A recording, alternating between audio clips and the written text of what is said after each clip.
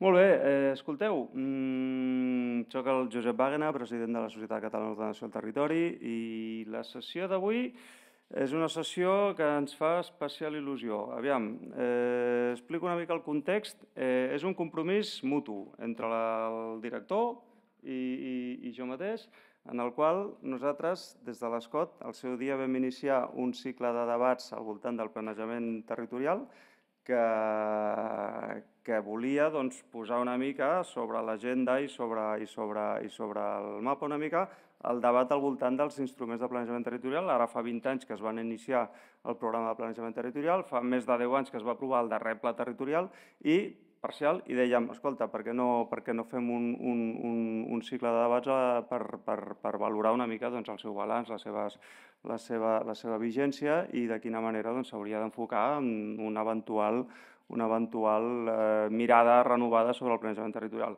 La Generalitat, en el seu moment, doncs, paral·lelament, també va iniciar un treball amb un grup de treball al qual em van convidar en nom de l'ESCOT, cosa que agraeixo personalment, especialment a l'Agustí, al Marc, al Matías i a les persones del departament i encapçalades pel seu secretari, que en tot cas ara presentaré, que van voler doncs, eh, configurar un grup de treball amb, una, amb un seguit de, de persones amb uns vincles diferents al voltant de la planificació territorial per tal de, justament, una mica fer una revisió, en aquest cas, molt més orientada a la política, diguéssim, competència del, del, del Departament de Territori.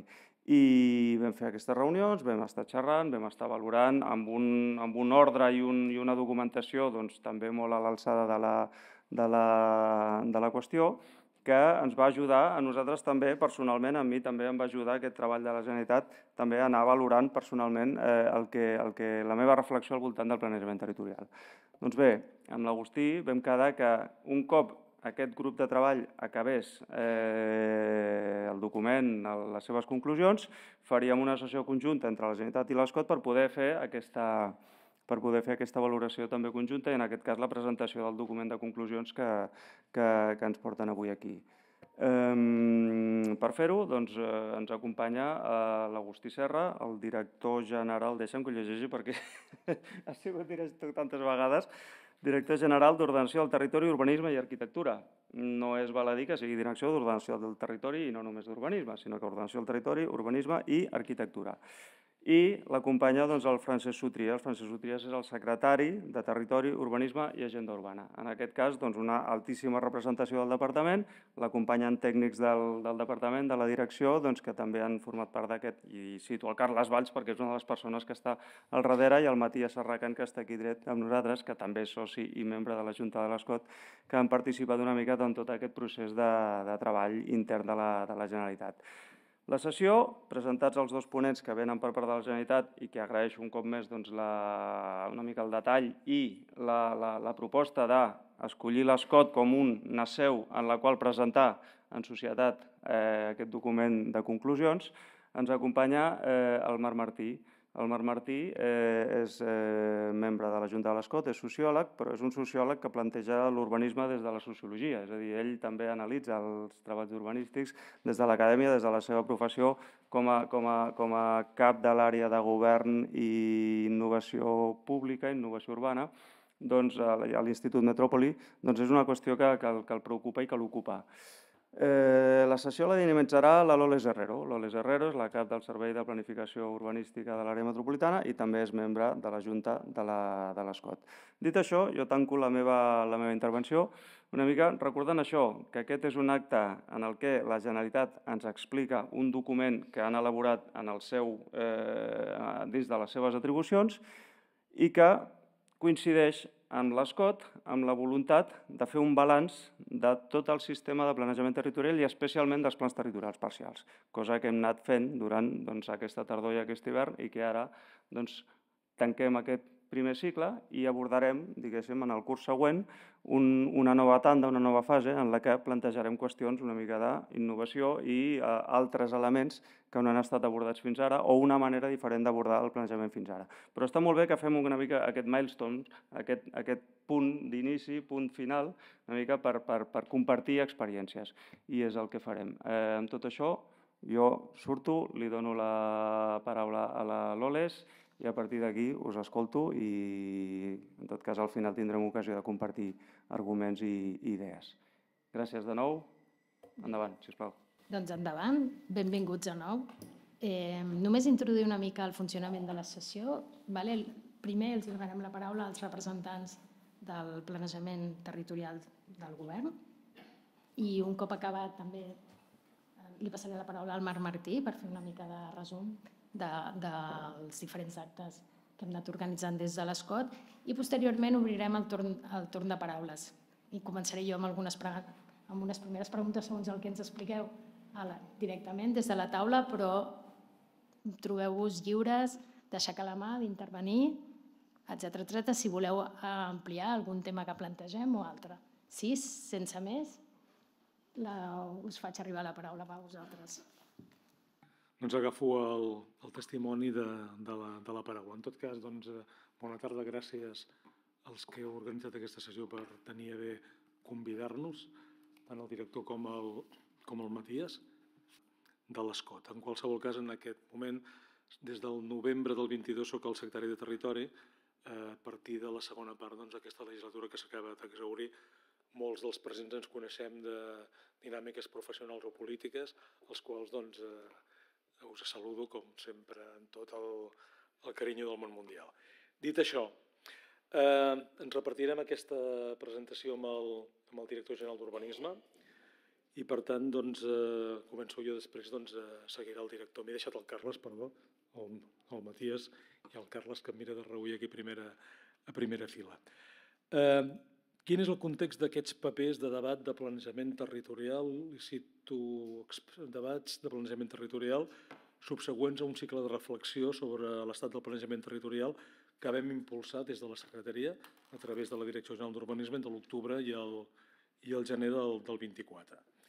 Des de la perspectiva de, de qui parla com a secretari des, de, des, del, des del, com deia, des del, des del novembre del, del 22, eh, per tant, amb responsabilitats directes sobre l'urbanisme del país des d'aquell de, des moment, tot i que, evidentment, com a ciutadà, com a professional i com a responsable polític en altres dinàmiques, doncs allò estàvem monitoritzant el que passava des de que vaig acabar la facultat de Dret i em vaig eh, interessar pels eh, processos eh, urbanístics i territorials.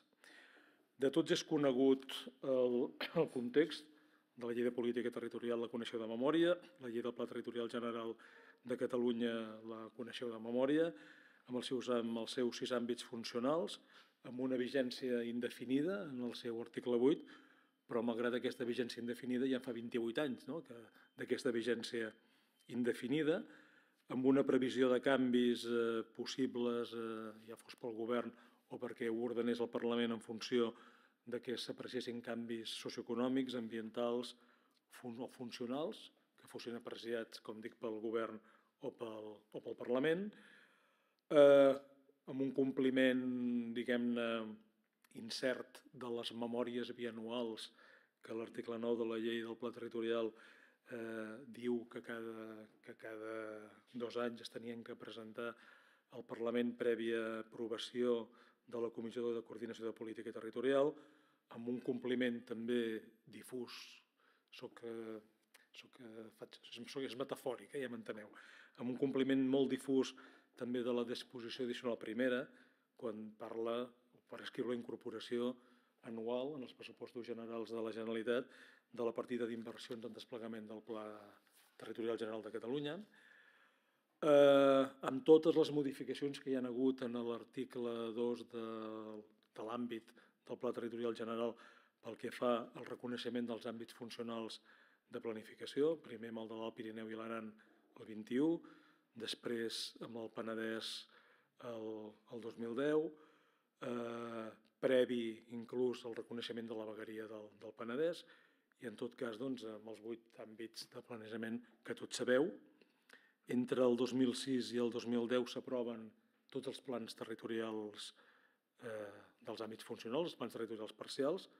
El primer, si no vaig errat, el 2006, el del Pirineu i l'Ani, i l'últim, el de les comarques gironines, el 2010, i tenim en curs, que això sí que ho he heredat i he participat, diguem-ne, en el moment en el que vaig entrar en el procés d'elaboració del Pla Territorial Parcial del Penedès, el vuitè, el que falta, eh, que sabeu que està en informació pública l'abans fins al maig d'enguany, subsegüent al procés de participació que es va encetar l'any 2020 i 2021 a partir d'un benchmarking de propostes i que per tant doncs, aquest és l'esquema diguem-ne del, del planejament territorial amb una vigència fins a 2026 i estem a 2024. Eh, sota aquest esquema, el dia a dia de la, de l'activitat del departament, doncs, evidentment és un dia a dia que et genera dubtes, reflexions a partir de la interlocució política, de la gestió del dia a dia, de les comissions, sobre l'oportunitat d'avançar en la revisió d'alguns dels plans territorials parcials, és a dir, del, del, del programa, eh, de l'esquema de, de planejament territorial, diem, bueno, tampoc falta tant pel 26, no? Eh, hi ha coses que potser hauríem de començar a pensar que ja cal posar-s'hi. Eh, I això ens va portar, a poc a poc, doncs, cap a consensuar amb el director, sota el paraigua del conseller Fernández, després de la consellera Capella, i una mica contrastant parers amb el Matías, que com sabeu doncs, treballa en el gabinet de la consellera com a assessor específic en aquestes qüestions, doncs eh, cap a, diguem, hem d'obrir un procés, aquestes inquietuds que tenim, hem d'obrir un procés doncs, eh, per poder-la socialitzar i a veure doncs, eh, si hi ha més gent que comparteix doncs, eh, com veiem les coses. Aquests dubtes, per posar alguns exemples de, doncs, de coses d'aquestes del dia a dia. Per exemple, eh, reunions amb el Col·legi de Geòlegs, problema del traçat de l'R1. No? Dius, eh, això abans del traspàs de Rodalies. Eh? El traspàs de Rodalies, evidentment, que està en curs, com sabeu, però si, si, si assumim la responsabilitat, la cosa és molt més, és molt més perentòria. Eh, dius, bueno, eh, el debat no és tant dels centenars de milions que ens costarà fer-ho, a nosaltres o l'Estat, sinó primer el debat és planificar això, si no, no es pot fer. Eh, per tant, dius, bueno, doncs hem de veure què passa amb el Pla Territorial Metropolità en relació a aquesta qüestió. Eh, sou coneixedors de debats d'infraestructures que hi ha eh, també en l'àmbit metropolità, algun d'ells doncs, eh, de virulència política o de recurrents en la dinàmica política i comencem a pensar, doncs, eh, bueno, és a dir, potser que abans per objectivar segons quines decisions s'hauria d'obrir el desplegament del Pla Director Urbanístic de la Plana Agroforestal del Vallès que estava previst en el propi Pla Territorial Metropolità, que està previst en el propi Pla Territorial Metropolità de Barcelona, Eh, T'ho suposo com dos exemples. Hi ha moltes més dinàmiques que el dia a dia ens va portar a dir, ostres, doncs, eh, del 23 al 26 i ara del 24 al 26, doncs tampoc, eh, amb el ritme que van les coses en les reflexions públiques, d'agregació de magnituds, de molta gent, molta gent és cridada a pensar, potser que ens hi posem. Eh, ens hi vam posar dit i fet. Primera cosa, vam eh, aconseguir un programa temporal específic, recursos humans per poder fer coses, eh, i en certa manera ja hem començat, encara no hem donat compte en la comissió d'urbanisme, això és l'acord d'inici, però ja hem començat a encarregar alguns estudis de delimitació de, de quin hauria de ser l'àmbit del pla director de la plana agroforestal, la caracterització dels aspectes geomorfològics, la, els, els aspectes productius, el paisatge, etc etc i també pensant en la... ja tenim una estructura de, de tenir creada una, una, una oficina de planejament perquè en la, en la modalitat que s'acabés esdevenint d'aquests debats ja tinguéssim una estructura tècnica doncs, per, per començar fermament i de manera fefaent una revisió del programa de planejament o de la mare de tots els ous, és a dir, del Pla Territorial General de Catalunya. Això ens va portar doncs, a dir, doncs, vinga, organitzem aquesta dinàmica amb, amb un grup de treball, vam fer cinc sessions, més una sessió de conclusions d'octubre a gener. Sabem que vosaltres estàu fent també el xup-xup amb altres, amb altres coses. Eh, vam, vam intentar eh, definir un perímetre més enllà dels tres sistemes de proposta dels plans territorials parcials, que sabeu perfectament, espais oberts, assentaments infraestructures de mobilitat, sinó que vam obrir la reflexió una mica al model territorial i a tots els condicionants transversals que podien eh, fer pensar si era oportú o no obrir aquesta reflexió, és a dir, canvi climàtic, eh, energia, aigua, suficiència alimentària, és a dir, agricultura, salut, etc etc, els quals vam sumar els aspectes clàssics doncs, que, dels sistemes de proposta del planejament. Llavors, eh, amb això el temps eh, se'ns ha tirat a sobre.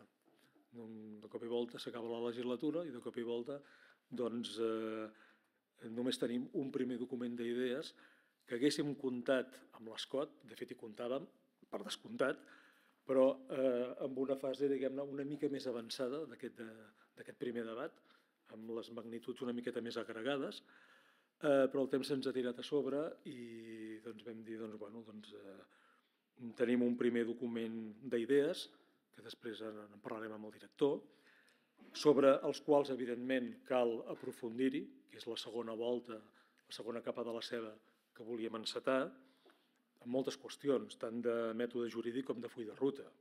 Per exemple, sabeu perfectament que el decret del 84 que va regir l'elaboració del Pla Territorial General, el 397, està derogat, el qual cosa vol dir que ens hauríem de dotar d'una metodologia diferent, segurament més evolucionada que la que va regir en el 84, o, per exemple, quina és la base jurídica doncs, per fer això, si partim de l'actual legislació vigent o ens enmarquem i fem un, un salt de pantalla una mica incert però agosarat i ens plantem en els esquemes de la futura llei de territori, que després us faré una, una petita pinzellada, o si ens atrevim a superar, diguem-ne, aquella relació de coherència que fixa l'article 13 de la llei d'urbanisme pel que fa al planejament territorial en relació al planejament urbanístic i que en realitat és una llosa perquè no permet l'aplicació directa de moltes prescripcions i d'altra banda perquè els processos d'adaptació, com sabeu, doncs després de, de 20 anys, els processos d'adaptació, doncs, eh,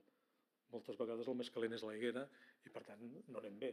Si els terminis de, de prescri... si, si la capacitat prescriptiva i els terminis d'adaptació del planejament territorial al planejament urbanístic, que és el que fa les qualificacions i defineix el règim jurídic del sol d'aquests ritmes, no anem bé. Per tant, us ho poso només com a exemples de reflexions jurídiques doncs, que, que darrere d'aquest document que, que per cert, hem editat, el tenim emmarcat i que després doncs, eh, lliurem alguns exemplars.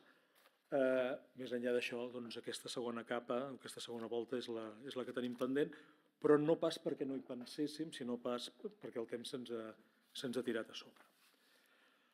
Eh, tot i això, eh, li vam voler donar una certa formalització, o dir, bé, no és només un document, allò és una reflexió com tantes que es fan, sinó que per nosaltres, amb independència de com ha acabat la legislatura, per nosaltres és quelcom que, que volem que, que tingui, inclús per respecte a la gent que vam convocar i a les idees que s'han generat, un, un punt i seguit. Vàrem convocar la Comissió d'Ordenació Territorial Metropolitana de Barcelona el 16 d'abril, que feia dos anys o tres que no reunia, potser des del... un parell d'anys que no reunia, per donar compte precisament d'aquests debats i vam donar compte doncs, d'aquest doncs, document i també doncs, per anunciar doncs, que estàvem treballant o que hi havia la voluntat política de tirar endavant alguns plans directors de desplegament del, del, del Pla Territorial Metropolità. Sí que en aquests, en aquests debats, eh, en aquestes reflexions, en aquestes cinc més a la cloenda, van sorgir eh, idees interessants, que després el, el director acabarà de detallar, però que si, si em permeteu us, us faig un speech. Eh, es va convenir que era millor començar pel Pla Territorial General, és a dir, no tenia sentit si no era iniciar amb el Pla Territorial General, eh, que era absolutament imprescindible abordar la relació amb el sistema de planejament urbanístic i amb l'administració de l'urbanisme, amb l'administració jurídica de l'urbanisme, que calia refer consensos sobre un imaginari compartit del país i del model territorial, que calia un balanç doncs, eh, el més precís possible del desplegament i de què havien donat destí de l'eficàcia dels plans territorials vigents, tot i que el debat ja va apuntar algunes conclusions a parer dels que van participar de què havia anat millor i què havia anat pitjor d'aquests eh, de l'actual programa de planejament, però en definitiva doncs, eh, eh, no va ser, no és només un xut endavant, sinó que déu nhi les coses que es van dir que després us explicaré. Eh, mm, quan, vam, quan ens vam incorporar en el, en el departament i abans de passar la paraula al director, és a dir, la, la instrucció que vam rebre del, dels consellers és que l'urbanisme i, i l'ordenació ter territorial no és un problema, sinó que és una solució i és una eina imprescindible per la gestió del país i per tant em van dir, secretari, fes el favor de recuperar l'avantprojecte de llei de territori el més aviat possible, cosa que era més fàcil de dir que de fer.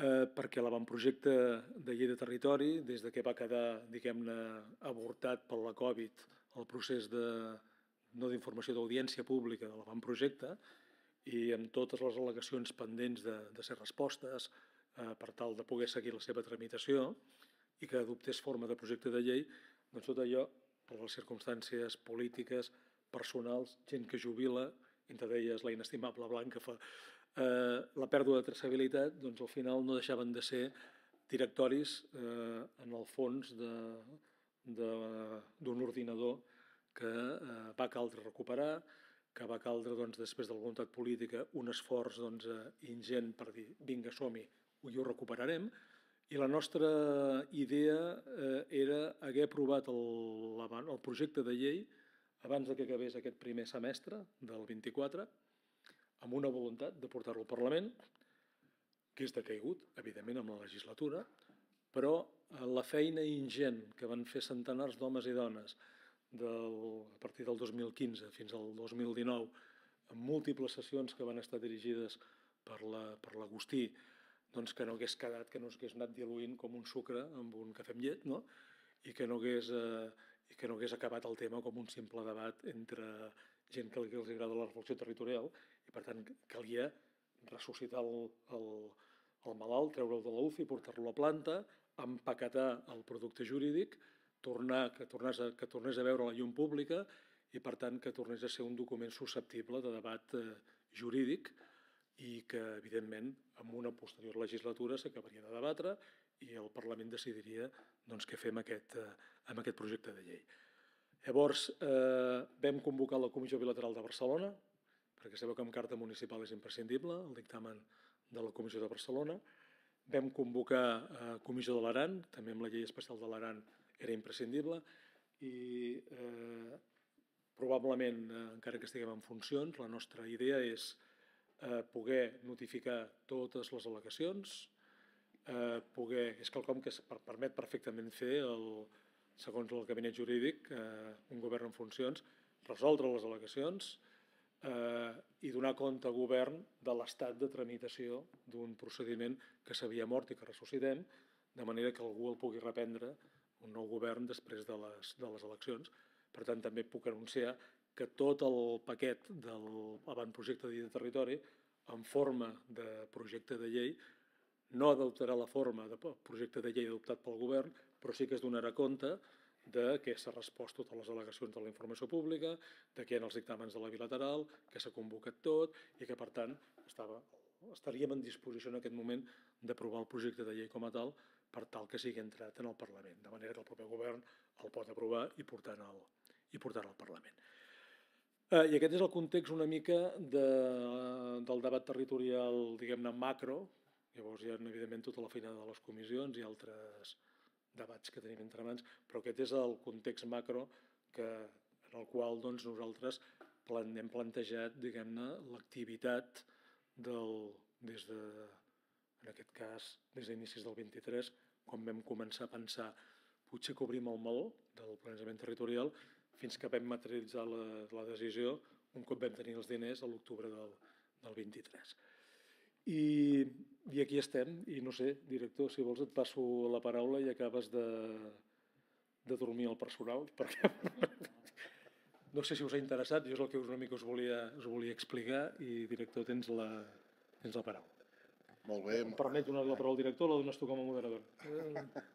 Molt bé, moltes gràcies. Eh, secretari, moltes gràcies.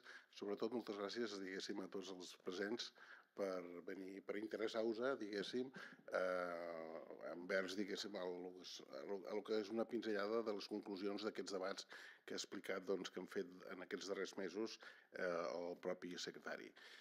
Jo, en tot cas, volia, en fi, preparat una mica la, la meva intervenció eh, evidentment per explicar les conclusions d'aquests debats, però em semblava que per poder explicar les conclusions d'aquests debats calia fer una pinzellada, si més no, una mica de, de com, eh, o sigui, quina ha estat ha estat l'evolució, no?, el desplegament del planejament territorial eh, al llarg d'aquests darrers eh, 10, eh, 14 anys, no? Perdó, eh, o, o, 14, eh, o sigui, em sembla que són, no, eh, ho dic malament, són 14 eh, i 18 anys dic 14 i 18 anys, perquè 18 anys eh, va ser el 2006 quan es va, primer, es va aprovar el, el primer pla territorial parcial i el 2010 quan es van aprovar els darrers plans territorials. Eh? Per tant, doncs, en fi, malauradament el pas del temps és eh, increïble i doncs, ja ha passat tot aquest temps. No? Fi, eh, jo tampoc no vull aprofundir, òbviament, per parlar, diguéssim, de com s'han desplegat, quin resultat han donat, quines, en fi, una mica les conclusions, això requeriria, diguéssim, d'unes jornades eh, de debat de, de detall, etc etc. I en tot cas avui volia fer unes simples pinzellades. Però, eh, òbviament, eh, dius que, aviam, i us, jo crec que ens coneixem tots, eh, amb la major part de vosaltres ja fa anys que ens coneixem i crec que podem parlar d'una forma molt oberta. Us haig de dir que, clar, a mi m'ha tocat, diguéssim, eh, custodiar i, i vull subratllar, diguéssim, la paraula custodiar el planejament ter eh, territorial durant la seva vigència, durant aquests eh, 14-18 anys. Ho dic perquè als inicis, eh, o sigui, del, del, en fi, d'estar de, de, a la direcció general, eh, amb els canvis polítics, eh, canvis no sé què, eh, hi va haver una, en fi, us he de confessar que hi va haver un gran impuls, eh, una gran demanda de dir, escolta, doncs els plans territorials és el moment de, de, de en fi, d'anul·lar-los, de no sé què, en fi, de, de fer-los de cabre, etc etc. I tinc l'honor de dir que durant aquests 14-18 anys eh, no s'ha modificat ni un sol pla territorial a Catalunya i per tant s'han mantingut la seva vigència de forma íntegra. I per tant ho vull dir ben alt, perquè eh, us, us asseguro que això en algun moment al llarg d'aquests 14-18 anys no ha estat gens fàcil. Dit això, dius que, òbviament, eh, eh, han vetllat pel seu desplegament. Òbviament, eh, com a entre cometes, autoritat urbanística, eh, nosaltres en el dia a dia, en el desplegament doncs, de les comissions d'urbanisme a través de l'aprovació, o sigui, per la de la tramitació i aprovació doncs, dels planejaments urbanístics generals, eh, en fi, de tot tipus, òbviament mm, eh, hem, hem, hem, hem seguit fil per randa eh, les previsions i els objectius d'aquest planejament territorial. I això vull dir-ho perquè no, a vegades no ha estat fàcil. Eh? Perquè dius que, en fi, les, el pla els plans territorials que es van aprovar, aquests, permeteu-me, jo sempre parlo dels, pla, dels plans territorials de primera generació, eh? els, eh, diguéssim, els, sis, els set perdó, plans territorials de primera generació 2006-2010, doncs eh, són uns plans territorials que es van fer en un moment, eh, en un context, que, de, de, de, en fi, de, durant els anys 2004, 2000, bueno, 2010, no? tal, però que imagineu-vos no? que després, doncs, eh, eh, en els darrers temps de la primera dècada dels 2000, doncs, hi ha un canvi absolut, diguéssim, des del punt de vista de la crisi econòmica, però sobretot sobretot de la crisi social que va suposar aquesta crisi econòmica, no? i una desconfiguració del nostre, dels nostres entorns socials i dels nostres teixits socials, eh, en algun cas de forma en fi, molt, molt, molt greu. No? Òbviament han estat uns anys molt complexes, eh? crisi econòmica, crisi social, en fi, eh, que ens ha portat, diguéssim, a una crisi, en moltes crisis, una d'elles la més potser important, la crisi habitacional, eh, que encara, en fi, hi, fem front, etc etc. Eh, en fi, no, per, per no parlar de la crisi i no és, que no es malinterpreti, però la crisi política, la crisi sanitària, eh, en fi, etc etc. No? Per tant, han estat uns anys eh, en els quals, a més a més, aquí se li suma doncs, que les legislatures doncs, han estat allò eh, breus. Eh? Eh, jo, almenys, durant la meva trajectòria de 13 anys de director general, no he tingut l'honor de poder fer front a una legislatura sencera i, per tant, doncs, sempre, eh, en fi, de tot fraccionada, i, per tant, això ha estat molt complex. Eh? Per tant, dius que, bueno, que, que a pesar d'això, doncs avui ens trobem amb un planejament territorial encara vigent, encara actual, el qual, doncs, com ha explicat el secretari Sotries, òbviament, doncs estem al final de trajecte des del punt de vista de l'horitzó, que no només el planejament territorial parcial, sinó el Pla Territorial General de 95 marcava com a horitzó des del punt de vista de les, de, en fi, de les previsions en quant a població, habitatge, llocs de treball, etc etc, que era el 2026. Això no vol dir que el 2026, eh, diguéssim, caduqui el planejament territorial, però sí que és veritat que les previsions, els horitzons pels quals es van fer aquests plans territorials parcials, doncs, doncs, bueno, en fi, doncs són el 2026. De fet, doncs, quan parlem, per exemple, de les grans xifres, no? dels reptes pendents, jo diria, o sigui, si algú em preguntés, bueno, però aviam, quin, eh, quin és el balanç? O sigui, digueu amb una frase, no? o sigui, el balanç. Home, aviam, jo crec que eh, tots potser coincidiríem el fet de que el planejament territorial no ha aconseguit un objectiu molt ambiciós que prové del Pla Territorial General de Catalunya, que és, diguéssim, el, el famós reequilibri territorial. Eh? Eh, en fi, i aquest és un element que vull remarcar, perquè, i després m'hi referiré, perquè durant aquest temps, durant aquests anys, doncs, eh, s'ha tingut que desplegar una sèrie d'accions no prevista segurament pel planejament territorial, però accions per intentar revertir, fer front a, a intentar doncs, a pal·liar aquest reequilibri ter territorial. En fi, si féssim un repàs en quant a població, doncs, bé, doncs dius, evidentment, allò que ja sabeu, doncs que durant aquests anys, doncs, és, segurament, no, segurament no, segur que hem sobrepassat les, les previsions que hi havia pel 2026. Recordeu que la previsió del del propi Pla Territorial General de Catalunya i dels, dels plans territorials eh, parcials era que Catalunya havia d'assolir el 2026 7,5 milions d'habitants, estem al 24, ja estem en 8 milions, ja estem en 8 milions, eh? per tant, és un objectiu, o sigui, un objectiu inclús sobrepassat, però com ens distribuïm? Doncs una vegada més, i això no hi ha manera de, de, de revertir-ho, doncs concentrant-nos a tots, perdó, tots, o la major part de la població a lo que és doncs, el, en fi, la, el, el litoral i, i el prelitoral. I, òbviament, doncs, accentuant cada cop més, eh, d'una forma preocupant, el que és el procés de despoblament eh, a la, a l'interior de Catalunya. En fi, evidentment això té molts matisos, etc. i evidentment ho comento d'una forma molt generalitzada. De fet, si parlem de llocs de treball, la cosa, les previsions del planejament, doncs aquí, aquí sí que no s'han complit. No? La distribució de llocs de, de, de treball doncs, que havia de ser més uniforme, etc., ajudant a aquest reequilibri territorial, bé, doncs ha passat el mateix que amb la població, els llocs de treball doncs, s'han doncs, concentrat diguéssim, han crescut d'una forma considerable doncs, a la regió metropolitana, al Camp de Tarragona i a les comarques, eh, o sigui, el Gironès, però en canvi, doncs, eh, i, i en aquest sentit, les dades d'ocupació han quedat molt lluny de les previsions del pla territorial i només s'han complert aproximadament un 40% d'aquestes previsions.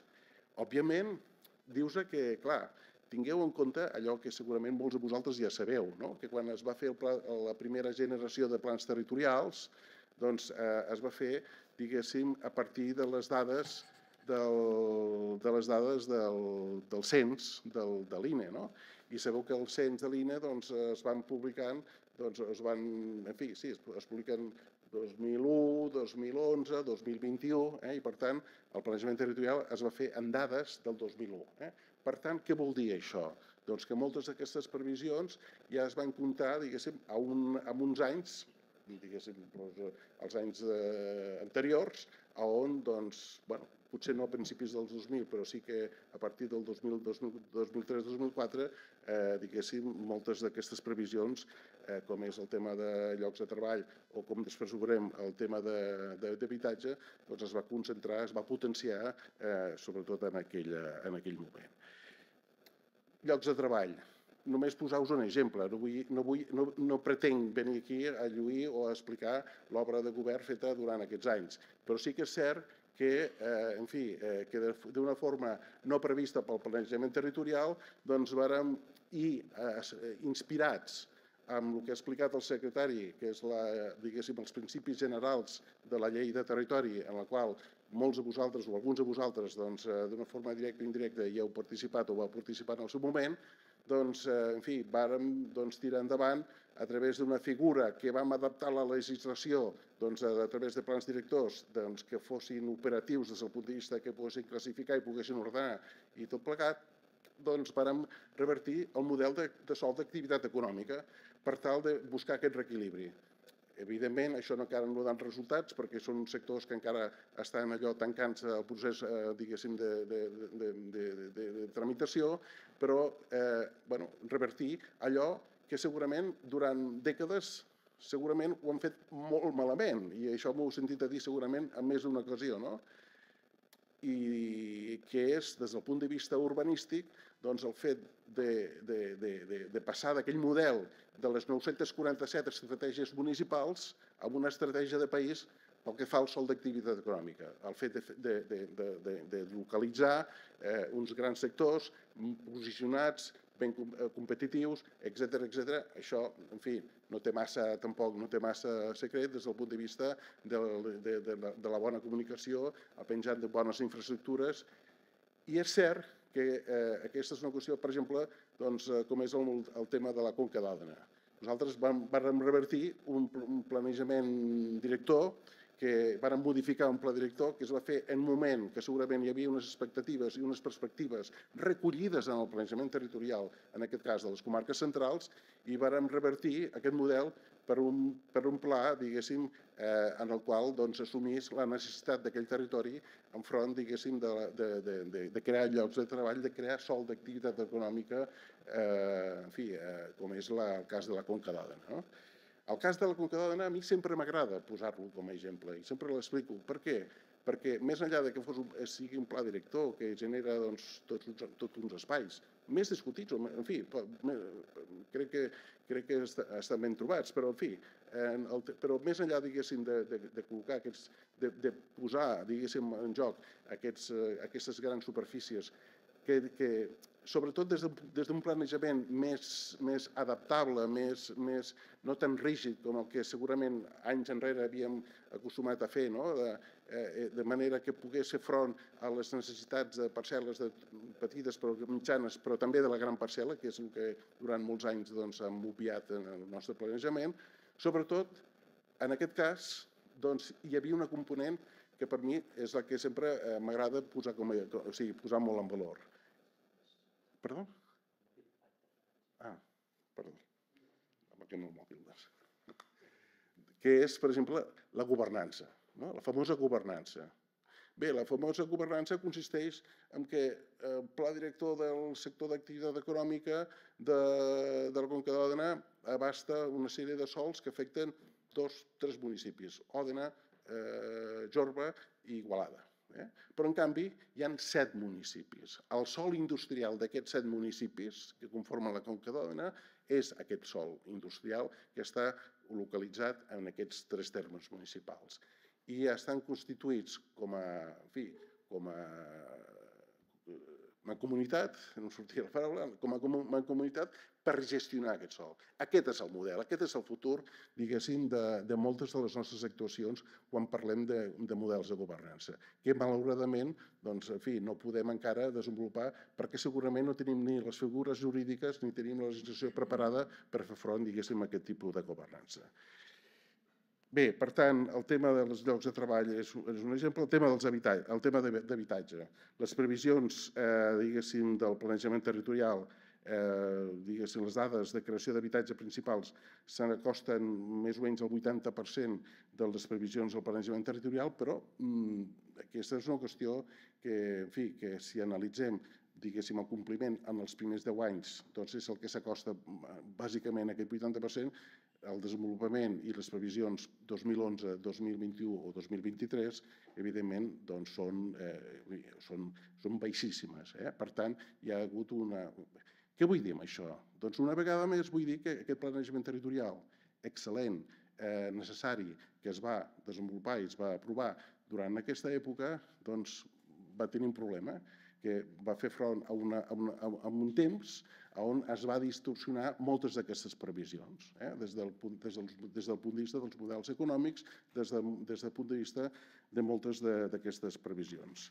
Evidentment, quan parlem d'habitatge, doncs, bueno, la dificultat de l'accés a l'habitatge, la dificultat, diguéssim, de fer front, eh, diguéssim, en aquestes expectatives. I, òbviament, aquí parlaríem del, en fi, de l'increment del preu de lloguer a, a Barcelona, el preu de lloguer a Catalunya, eh, durant aquests darrers anys. En fi, eh, són dades que podríem extendre'ns molt, no? O, per exemple, el fet de que ara tenim un pla territorial sectorial de l'habitatge eh, que està a punt d'aprovar-se, en fi, ara ha quedat malmès per, diguéssim, per la, eh, per la situació, eh, diguéssim, per la finalització de la, legisla, de, de, de, de la legislatura, eh, però que, bueno, aquest pla territorial sectorial doncs, mm, preveu o diu que, que necessitem doncs, el 2037 du- 375.000 llars, noves llars. No? O sigui, hem de preveure que, que Catalunya guanyarà 375 noves llars d'aquí al 2037. Molt bé. I això com ho fem front? Com ho fem, com fem front? Val? Bé, i per tant aquest pla de creixement territorial, l'ac- l'actual, el vigent, doncs, està molt lluny d'aquestes previsions, d'aquestes realitats. Eh?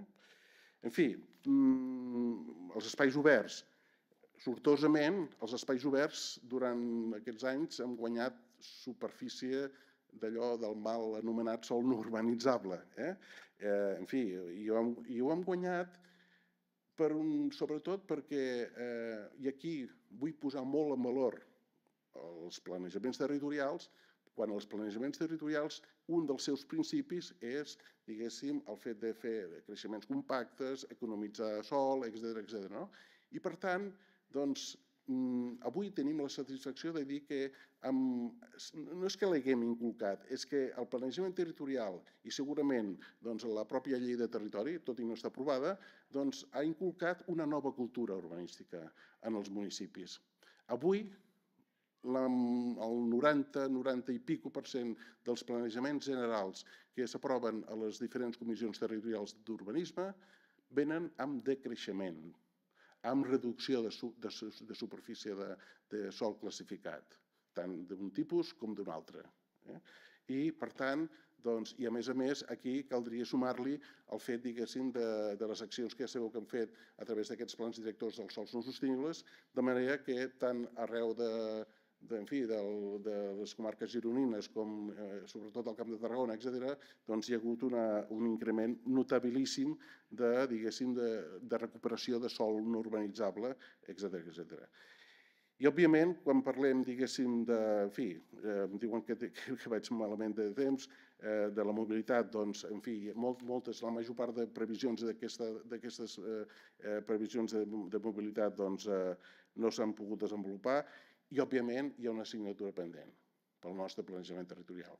Evidentment, els, o sigui, el, canvi climàtic, eh, el, el, el canvi climàtic emergeix com un factor crític en el marc de la planificació territorial. I, per tant, la pèrdua de biodiversitat és un tema que s'ha d'afrontar d'una forma urgent i tal. Bé, escolteu, eh, aquesta seria, en síntesi, eh, i, en fi, i malauradament el temps es tira a sobre, deixeu-me que us expliqui una mica com ha anat el tema dels debats. Com pensem fer front, eh, i aquí doncs, eh, agrair a, a alguns dels que esteu aquí presents que heu format part d'aquest grup de, de, de treball, que evidentment doncs, és un grup format per especialistes del món professional a nivell multidisciplinar. Això s'han fet sis sessions, sis sessions, eh, diguéssim, temàtiques, eh, la darrera, la sisena, de conclusions. I aquestes sessions s'han fonamentat en una sèrie de preguntes. De, bueno, cal una nova estratègia territorial de país? Eh, I després, doncs, eh, quina, és la, quina ha de ser la priorització?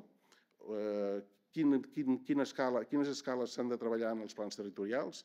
Quin nivell de concreció? Quins continguts? Quin caràcter? En aquest sentit, cal dibuixar un escenari o bé diverses opcions? Eh, s'ha- S'han d'estudiar, eh, s'ha de fer de forma estàtica o flexible davant dels canvis, ha de marcar fites o baròmetres, etc etc. A partir d'aquí, eh, en res i curt, doncs, han sortit una sèrie de conclusions, conclusions que, com ha dit el secretari, eh, les tenim recopilades. Aquest document no és tot el document de conclusions, sinó que hi ha tot el material que des de l'Observatori del Territori i altres, eh, i altres documents que vam aportar a cada una de les sessions van servir per portar a terme els debats i una mica aquestes conclusions. Dius que aquest document, bueno, que és, en fi, és un document, bé, no és, a pesar que sembla un llibre, no, és un tema, és un tema intern, eh, eh, en breu, en qüestió de 10, no, 10-15 dies, el publicarem a la web del departament. I, per tant, tothom tindreu accés a aquesta documentació. Eh? Una documentació que, lògicament, com no pot ser d'una altra manera, serà, serà totalment pública. Bé, dius que les conclusions doncs, una mica doncs, s'han alineat o s'han enfocat per la necessitat d'establir lligams més clars i més forts entre el planejament territorial de caire general i el sectorial. Aquí hi ha una gran assignatura pendent. Hi ha molts plans territorials sectorials que emanen del Pla Territorial General de Catalunya pendents de desenvolupar. Eh, evidentment, parlem del pla, del pla de sols de valor agrari, parlem del Pla Territorial Sectorial de les energies renovables, un tema, eh, en fi, urgentíssim i que malauradament estem començant a fer tard, com podria ser també el de turisme, etc etc. Per tant, doncs, com eh, la necessitat, d'abordar aquests àmbits sectorials.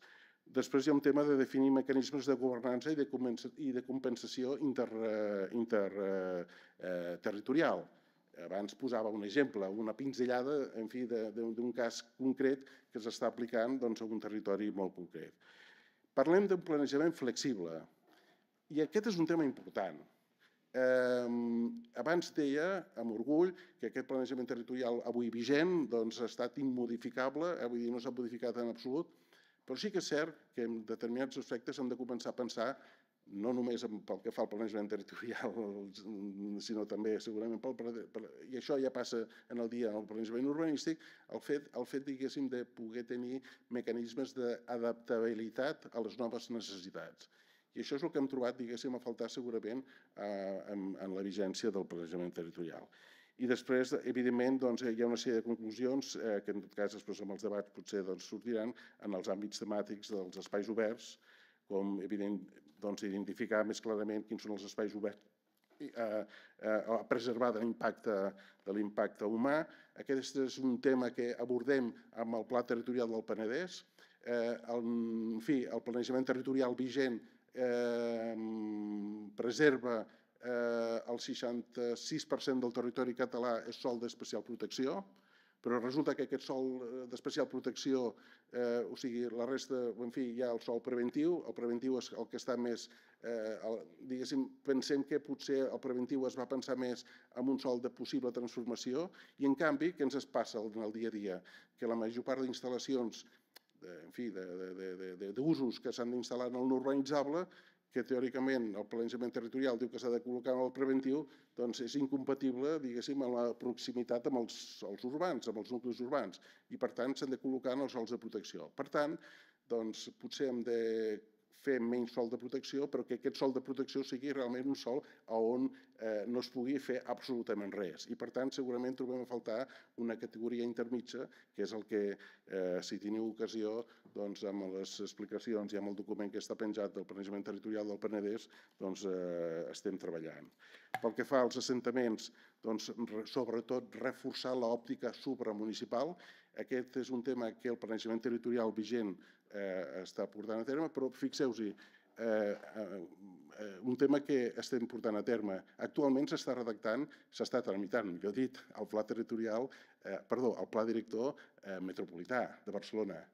Amb simultaneïtat estem engegant dos plans directors, el, de la, el del sistema urbà del Camp de Tarragona i del sistema urbà de la Gran Girona, eh, Sarrià de Ter, eh, eh, eh, en fi, eh, Fornell, Sarrià de Ter, eh, Sal i, Vila, i, i Vilabalets i Girona. Eh?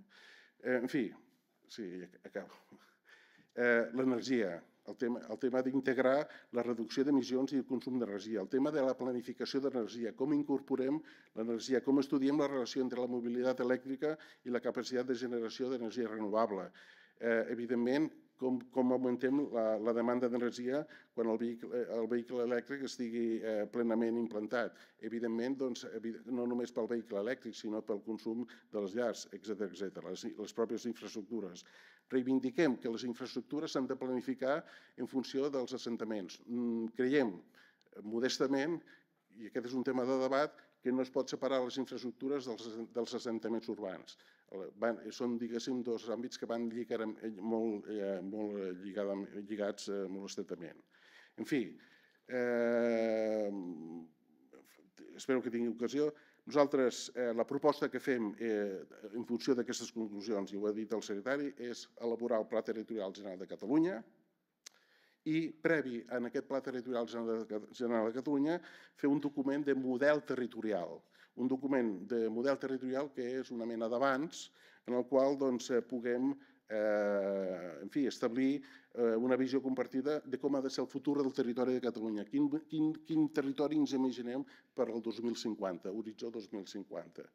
I fixar, eh, un, és un document de criteris, d'objectius, eh, de refosa d'actualització del planejament territorial actual, abordant temes doncs, com l'habitatge, com els recursos energètics, la biodiversitat, les activitats agràries, les vocacions econòmiques, la integració de vectors transversals com les infraestructures de transport, el canvi climàtic, el paisatge, en fi, una visió multiescalar, multidimensional i una, amb una pauta indicativa per la planificació territorial amb efectes normatius.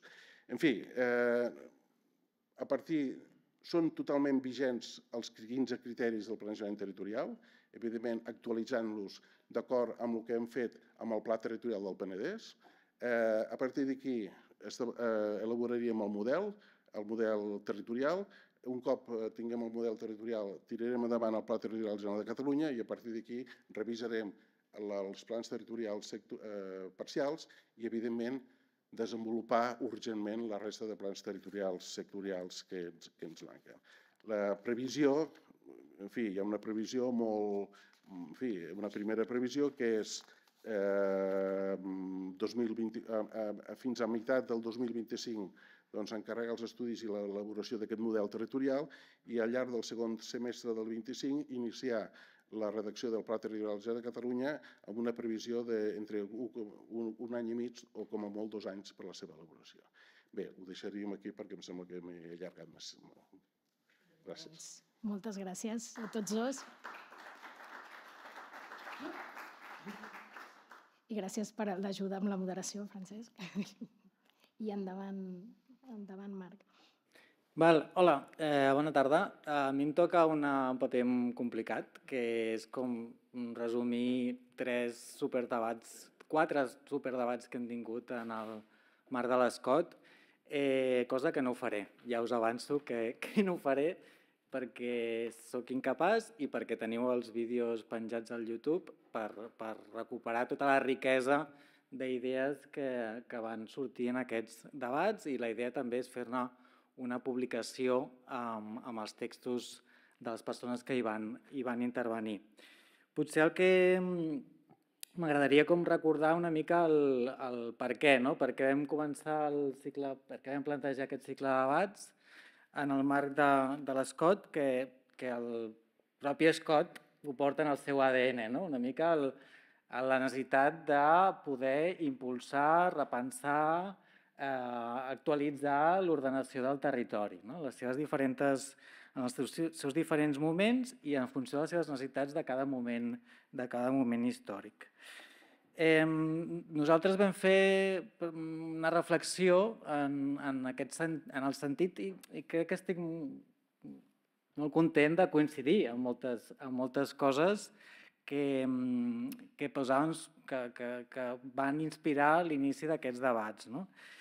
Que notàvem com una cert, eh, de, bàsicament, desconcert una mica, una falta de, de, de claredat, eh, una certa inèrcia sobre el llegat que, que, que, que va donar el, el programa de planejament eh, territorial. No? Eh, notaven que bueno, el, el, um, no veiem un, clar una direcció o un desplegament amb tota la potència que, que va plantejar en el seu moment el programa de planejament territorial. No?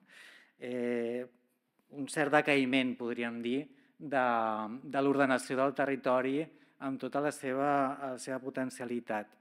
I també, després d'aquests de, 10-15 anys, no? de, després de la seva aprovació, també pensàvem que, que necessitàvem això, aquest document que, que tenim aquí, que, que hem de celebrar, que és un, un cert eh, anàlisi, un cert balanç per la pròpia administració que té la competència en l'ordenació del, del territori.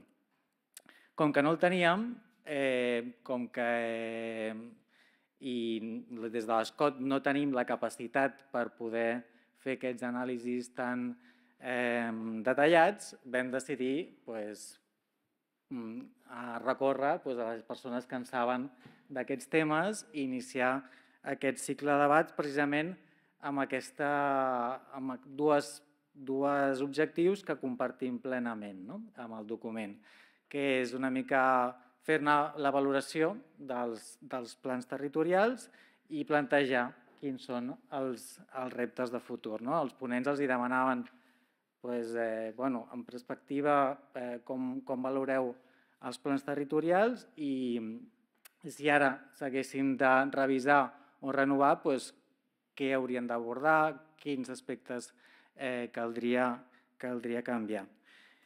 Crec que per fer una mica de, de síntesi, crec que hi ha hagut una... Bueno, en els debats hi ha hagut bastanta unanimitat, i crec que ho compartim tots en aquesta taula, no? del, del punt d'inflexió que va suposar el, el programa de planejament. No? A, una, una assignatura pendent eh, de l'autogovern del país, que era desplegar tota la potència en l'ordenació del, del territori, no? que fins, fins llavors pues, no hi havia hagut eh, bueno, la, el pla territorial general, però no s'havia aplicat, eh, no, no, no s'havia fet efectiu de, de, cap, de cap manera. Eh, crec que també hi ha hagut una mica la coincidència, i això també ho heu posat sobre la taula vosaltres, no? de, de l'encert, no? també dels, dels criteris que es van plantejar en aquell moment i que també en els debats han, han, crec que tots els ponents han recalcat la seva vigència, no? que cal fer determinats ajustos, però eh, tots ells eh, eh, estan plenament, plenament vigents. No? I després, com tota una, una, una potencialitat no? que, eh, i una ambició, segurament, que després no se li ha pogut donar respostes, no? per crisis econòmiques, crisis polítiques, canvi de prioritats polítiques també, eh, no, no s'ha pogut donar aquest, aquest desplegament. No? I pensàvem precisament que iniciar aquests debats eh, hauria, mm, volíem que suposés també un nou impuls precisament a, aquests, a aquest eh, programa territorial i no deixar tampoc l'administració sola, sinó acompanyar-la des de la societat civil, que és l'ESCOT, en aquest debat que pensem que és molt necessari que es pugui compartir i socialitzar. No? I penso que, que els temes que plantegeu i he posat sobre la taula de la revisió del Pla Territorial General, aquí ens trobareu, aquí ens trobareu per poder-lo debatre, enriquir i portar on, on faci falta. No? I crec que aquí eh, podem fer un, un bon equip. En aquest sentit, eh, hem, hem, vam estructurar una mica el, el, el debat amb, amb, bueno, amb, l'estructura clàssica dels, de, que segueixen els propis plans territorials, d'assentaments urbans, espais oberts, infraestructures, eh, i també una mica, crec que una, i també plantejàvem això, no? fins a quin punt eh, podíem fer valoració d'aquests tres àmbits. Crec que una reflexió interessant és, eh, doncs és, dificultat, és difícil fer-ne una valoració perquè eh, bàsicament no s'han desplegat com s'havien pensat. No? Per tant, hem de valorar els plans en el moment que van estar fets i amb, la, i amb, i amb fins, on, fins a quin punt s'han pogut, pogut desplegar. Eh, crec que és important eh,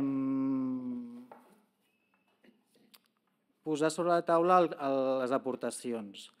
En primer lloc, crec que, que, crec que la gran aportació és de model de país i de, de territori. No? I aquest, no, aquest eh, en principi, no, no s'ha qüestionat que és el, el model nodal de territori. Però ahir, precisament, em van convidar a una sessió on, on encara es parla o ja reivindica la macrocefàlia de, de la ciutat, no? com el, de fet, com, coses que plantejava el Pla Territorial General eh, en el seu moment. No? Per tant, a vegades dona la sensació que potser no hem fet, eh, no, no hem avançat tant com ens pensem en aquests tipus de debats, potser perquè no hem pogut desplegar eh, aquesta efectivitat i després les dades que ens presenteu també, també reforcen no? aquesta idea de que cal més esforç per realment governar aquest desenvolupament del, del territori. En el tema dels assentaments urbans, crec que es va posar molt sobre la taula el tema de la crisi d'accessibilitat a l'habitatge i sobretot eh, eh, si estem preparats per, aquesta, per aquest augment de la població que, que des de 2016, eh, sobretot degut al moviment migratori, eh, estem rebent al país. No? Si eh, els plans territorials, de fet, es van aprovar al final del, del boom anterior. Estarem a temps de fer una revisió efectiva o desplegar les eines efectives abans de que acabem aquest nou cicle eh, de creixement? Eh, si podrem mm, governar aquest eh, eh, creixement i aquestes necessitats de construcció de nou habitatge amb aquest esquema, en aquest, en aquest esquema nodal? Respecte als espais oberts, crec que s'ha fet una molt bona valoració del, de la necessitat de protecció dels, dels, dels espais oberts, però sí que es va posar molt sobre la, la taula eh, doncs això, la falta, eh, no pensar tant als espais oberts en contraposició als espais urbans, sinó a poder valorar-los en funció del, de les seves, dels seus valors intrínsecs, en termes de biodiversitat, en termes agraris, no? i aquí, doncs, evidentment, hi ha pendent tot el tema del, del pla eh, territorial eh, agrari. Eh, de fet, aquí són coses que ja, que ja es recollien en el, en el context quan es van fer els plans, però que s'han agreujat. Eh, en l'actualitat. I vosaltres també ho apuntàveu, el tema de la crisi de la biodiversitat, el tema de la sobirania alimentària i el tema de la transició energètica. No? I aquí eh, també es posava sobre la taula pues, pues fins a quin punt els plans territorials podran sostenir les necessitats eh, i encaixar bé eh, aquest pla, eh, perquè bàsicament tenim molts deures pendents de fer. No? Encara, com heu assenyalat, el plàter encara està tot just iniciant-se, el pla mm, agrari encara mm, també en un, en un moment encara més, més inicial, eh, el pla de correctors eh, eh, biològics també.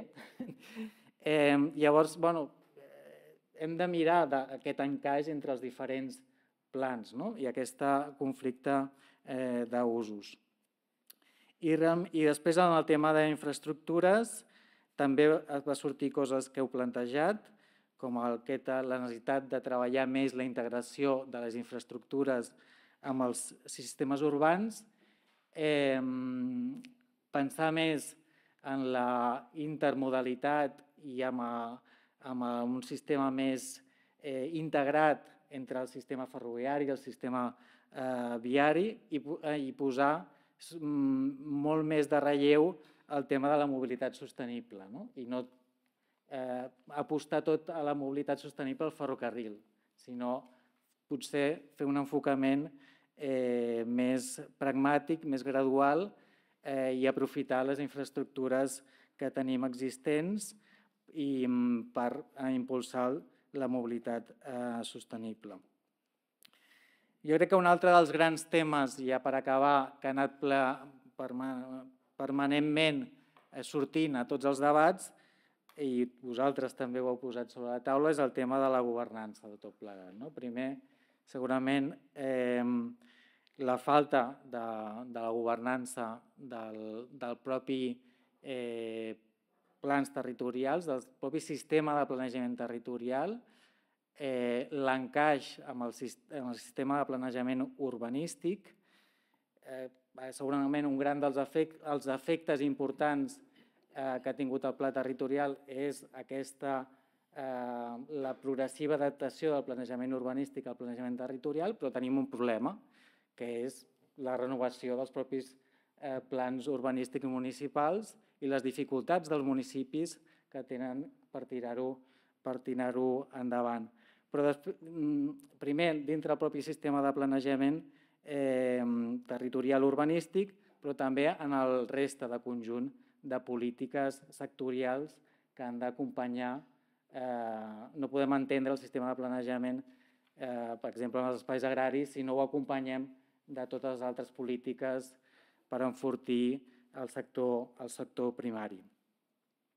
I crec que després, en termes de, eh, bueno, de debat públic, de retiment de comptes, de transparència, de tot aquest, aquest, aquest eh, procés, que crec que, que, que podem iniciar, no? ja que hem anat treballant eh, l'Escot per una banda en els seus debats, vosaltres per la vostra banda en els, en els, en els vostres debats, que també hem participat, però obrir i, i ampliar aquest debat eh, al, màxim, al màxim possible perquè tenim uns reptes molt urgents, canvi climàtic, eh, ho heu citat, el tema de l'accessibilitat, crisi de biodiversitat, i no tenim les eines encara preparades per, per fer-li front. No? Tot i que tenim un ventall de possibilitats molt ampli, no les tenim posades a punt eh, per poder governar tots aquests reptes que tenim per davant.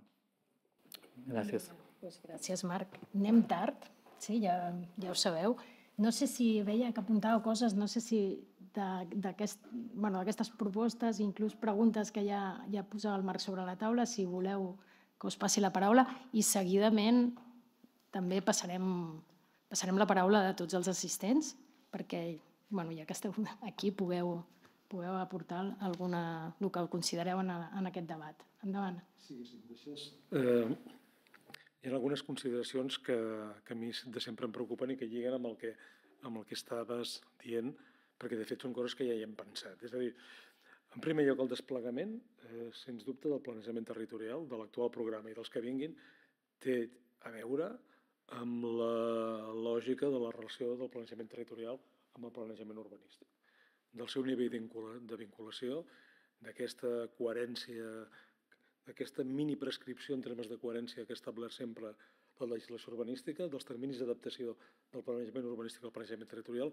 i si això no resol manu militari en la propera llei de territori, ja podem, ja podem reflexionar, fer dafos, diagnosis i les millors intencions. Si això no resol, i actualment no està resolt, d'aquí la importància de la llei de territori.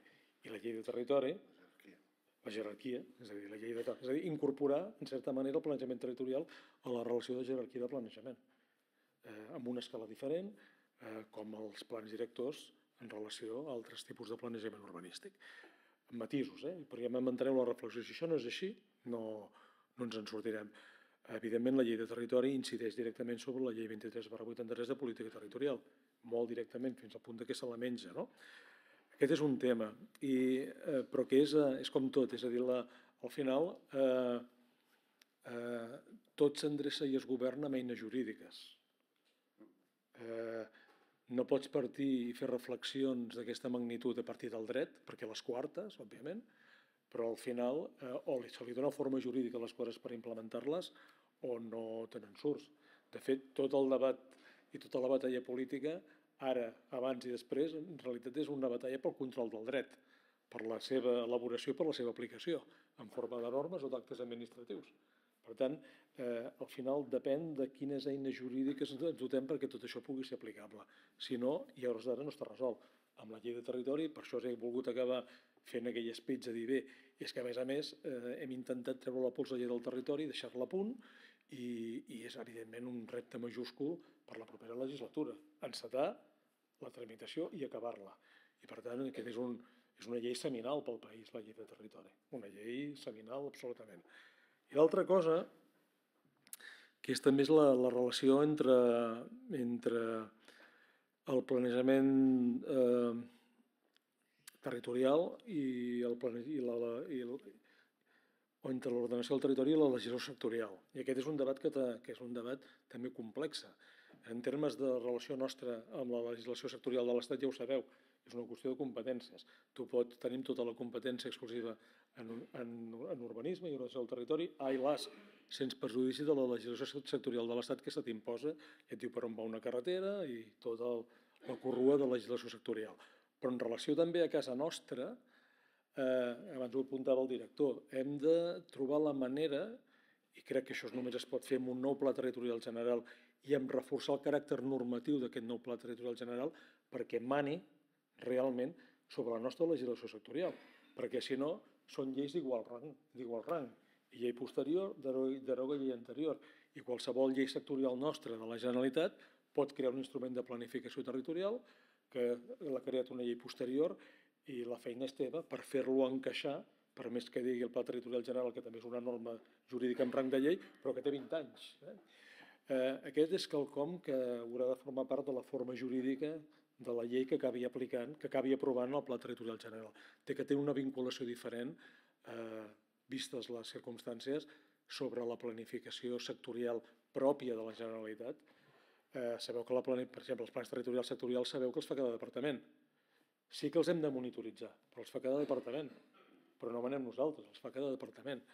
Per tant, eh, sí que a través de que els, poder, de que els monitoritzem podem dir ei, atenció que això incompleix doncs jo què sé, el pla territorial general el pla territorial parcial o tal i qual, però la feina és teva.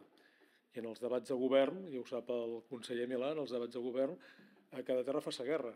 I, i el Departament de Territori és poderós, però no, no mana sobre tot. Per tant, hem de trobar la vinculació perquè el nou, el nou Pla Territorial General de Catalunya pugui realment eh, prescriure i ser el nucli que mana, o sigui, el, el, el, el paraigua o el pal de paller que mani sobre les infraestructures i sobretot i sobre qualsevol idea de planejament territorial sectorial que, que derivi de legislació sectorial que pugui venir al llarg dels propers anys dels diferents departaments de la Generalitat. Si no, no anem, no anem bé. Per tant, però això és, és, és, la, és la, la eina, les eines jurídiques que ens acabem dotant per aplicar el nou planejament. Eh, I la, la tercera pota, la relació entre l'ordenació territorial i l'organització territorial, té i tindrà els seus límits. Té i tindrà els seus límits. És a dir, hem de fer plans eh, segurament més flexibles i més senzills, atenent eh, a la complexitat del mapa territorial, de, del mapa municipal de Catalunya i a les capacitats dels ajuntaments, etc etc. Eh, perquè ningú delegarà competències i si pretenguéssim eh, redistribuir de manera diferent eh, les competències en llindar en funció de llindars de població que facin factible la seva aplicabilitat, eh, ens trobaríem amb una absoluta falta de consens polític a Catalunya i amb problemes derivats de la, de, de la llei de base de règim local, etc etc etc. Qualsevol norma que fem eh, haurà de passar per la Comissió de Governs Locals i etc etc etc. Que ja no parlo del debat diputacions, eh, parlo simplement en relació a les administracions catalanes, eh, nosaltres amb els nostres ajuntaments. Si el territori al final és eh, tot passa al territori i és l'embut sobre el que pivota tota l'activitat, eh, hem de tenir present quina és la realitat del mapa territorial català i, per tant, doncs, què podem i què no podem demanar als ajuntaments i ajustar-nos al nivell de complexitat dels instruments de planejament a aquesta realitat. Eh, però tindrem, tindrem topalls, segur. M'enteneu perfectament. Francesc Agustí. L'Agustí sí. demanava la paraula, però no us allargueu massa. Jo faré una intervenció ben curta, perquè es tracta, diguéssim, de passar el debat. Però hi ha, hi ha una qüestió que, home, que m'ha semblat injusta i que sí que vull, vull reivindicar, que és eh, quan es diu, no, és que el planejament territorial, bueno, allò, hi ha hagut com una certa, bueno, la paraula no ha sigut deixadesa, però bueno, d'inèrcia, no sé què. Aviam, jo crec que això és un perfecte desconeixement del dia a dia del desplegament urbanístic durant aquests anys a Catalunya. Abans m'hi he referit. O sigui, el planejament, o sigui, una de les seccions que jo reivindico és el desplegament del planejament urbanístic municipal, diguéssim, al llarg d'aquells 14-18 anys en el dia a dia de les comissions d'urbanisme. De manera que hem aconseguit que aquell principi o aquella directriu o criteri de moderació de consum de sol realment que no es va complir en la dècada, en els primers 10 anys de, de govern, es va, diguéssim, en, en l'actualitat, diguéssim, eh, forma part de la nova cultura urbanística. I per acabar-ho de rematar, doncs el govern doncs, elabora, eh, o sigui, desclassifica sols eh, a dojo, i algú pot dir, ah, bueno, sí, però esteu perdent alguna sentència a la Costa Brava. No patiu, no patiu. No, aquells sols són, o sigui, no, no, no, mai tornaran a ser el que eren eh? I, i, i tant. Però dir que això, a més a més, clar, què vol dir que no s'han desplegat els plans territorials? Potser l'únic pla territorial que, que, que, que fixava unes accions concretes és el pla territorial metropolità de Barcelona a través dels diferents plans directors. Sí que només s'han elaborat bueno, un que està aprovat i l'altre que està en procés d'elaboració, que és el Pla Territorial Metropolità de Barcelona. Però és que, insisteixo, eh, o sigui, eh, les previsions del Pla Territorial Metropolità de Barcelona, vull dir, les previsions han quedat superadíssimes i per tant hem tingut que actuar de forma, per tal de donar compliment, per tal de donar compliment als grans objectius amb altres tipus d'accions que podríem parlar dels plans sectors d'activitat econòmica, tal com s'ha comentat abans, els quals la major part van vinculats amb la, amb la descarbonització, descarbonització, eh? cosa que en el planejament territorial eh, en fi, ni, ni, ni, ni, ni es plantejava en aquell moment, a través de les intermodals ferroviàries, de les quatre grans intermodals ferroviàries del, del país, el, els, els àmbits metropolitans, a nivell de governança, a nivell de la supramunicipalitat, dels tres sistemes urbans, dels tres grans sistemes urbans del país, un d'ells, evidentment, competència de l'àrea metropolitana, però els altres dos, que és, diguéssim, d'inèrcia o, de, o de, diguéssim, de, de la pròpia de la pròpia Generalitat a través del departament, per no parlar, diguéssim, de, de plans, eh, bueno, i evidentment reivindico el Pla Territorial del Penedès, que no és un pla territorial més, és un pla territorial en el qual era molt senzill. Haguéssim pogut fer una refosa quan el Parlament de Catalunya ens va dir eh, vuitena vegueria, escoltin, senyors eh, del departament, elaborin el pla territorial, el vuitè pla territorial. Bé, en aquell moment era molt senzill. Haguéssim pogut fer una refosa dels tres plans territorials, comarques centrals, regió metropolitana, Camp de Tarragona, i aquest pla territorial faria temps que estaria aprovat. Però vam voler-ho eh, fer a través de, diguéssim, de quin havien de, sentir, havia de ser les bases i els principis de la, diguéssim, que haurien de servir per la revisió dels nous plans territorials. I per tant, quan analitzem diguéssim, el Pla Territorial del Penedès, més enllà, diguéssim, d'abastar la vegueria Penedès, diguéssim, és el que ha de ser els principis, la base de la segona generació del planejament territorial de, Catalunya. Vinga, gràcies. Jo obro el torn de paraula, tant al xat a casa com aquí a la sala, i mentre us penseu alguna cosa, aprofito i faig una pregunta. Algú vol... Vinga, va, doncs comenceu. Comencem perquè anem molt tard. El Sebastià, Primer, endavant. Tira, tira. Ah, micro, uf, ara bé. No, no ho sentiran a casa, ja, ja, ja està arribant el micròfon. Jo, que m'oblidava del xat. Res, molt ràpidament, felicitar-vos per totes les presentacions d'aquesta tarda. Un té la sensació de que, de, de, de, de que l'Estat, ara parlaré de l'Estat, eh? no, no, no parlo de la comunitat, tenim un estat que és una mica Frankenstein, eh? perquè ho hem muntat d'una manera en el que eh, el valor del sol està a l'Estat, però en canvi l'urbanisme, l'habitatge i, i el planejament territorial estan a les comunitats autònomes, eh, la llei de bases de règim local està a l'Estat, però en canvi l'organització del país està a les comunitats autònomes. Llavors, no sé de quina manera, jo fa molt de temps que, que, ja, que, que, que hi predico que tenim una assignatura pendent o som com França o som com Finlàndia. Però Espanya no funciona. I quan dic Espanya no funciona, Catalunya no funciona.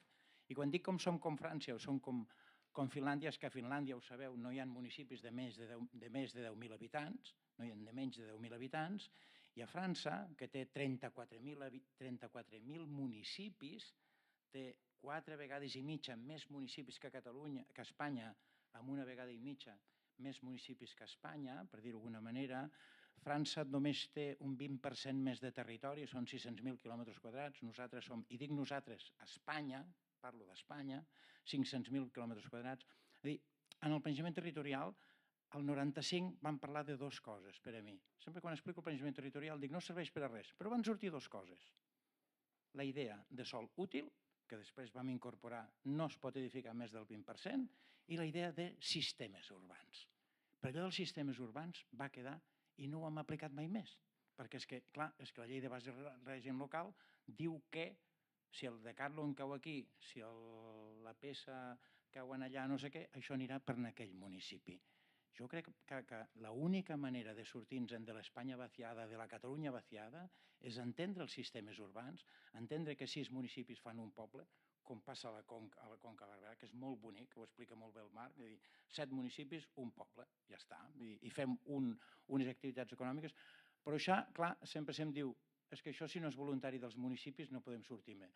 Home, podem fer un pas més, no sé, jo demanaria un dictamen, demanaria un informe i demanaria a Madrid, a l'Estat, que aquella llei de base de règim local que van fer l'any 85, que és una llei de desagravi dels municipis, li donem una miqueta i, i, fe, i siguem una mica més francesos, que tenen aquesta cosa molt bonica de la comunitat de comuns, i per tant, si el polígon industrial cau a casa teva o a casa d'ell, ens ho repartim entre tots, si el de Carlo cau a casa teva o a casa d'ell, ens ho repartim entre tots, si la peça cau a casa, ens ho repartim entre tots, i fem planejament intermunicipal i governança intermunicipal. És que em sembla que és la signatura pendent. Passem la paraula al Salvador i després a l'Agàpit. Salvador. Bé, subscrivint el que ha dit en Sebastià, que m'ha estalviat dir algunes coses. Jo crec que el problema que tenim és que l'excel·lència que busquem amb la planificació territorial i urbanística és absolutament incompatible amb l'eficiència que li hem de demanar amb la realitat dels temps actuals. I permeteu-me aquest titular.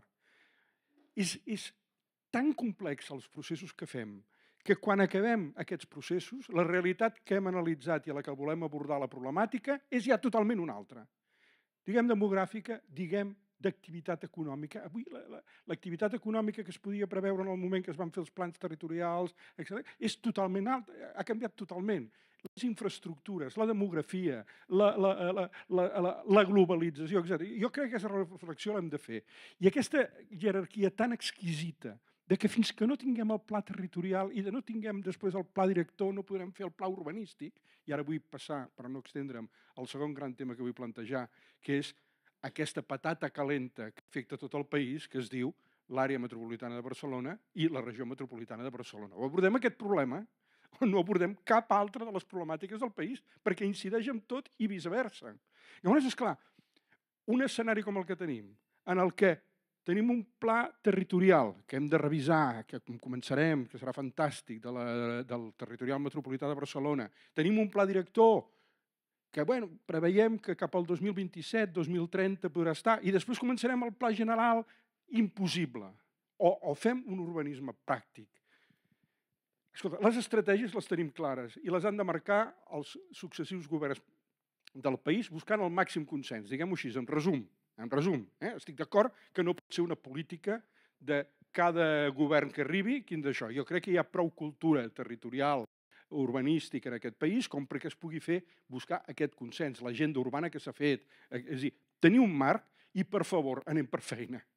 Mateu-me, és dir, posem els instruments, treballem en paral·lel, no, no, no, no, bueno, espera't, espera't.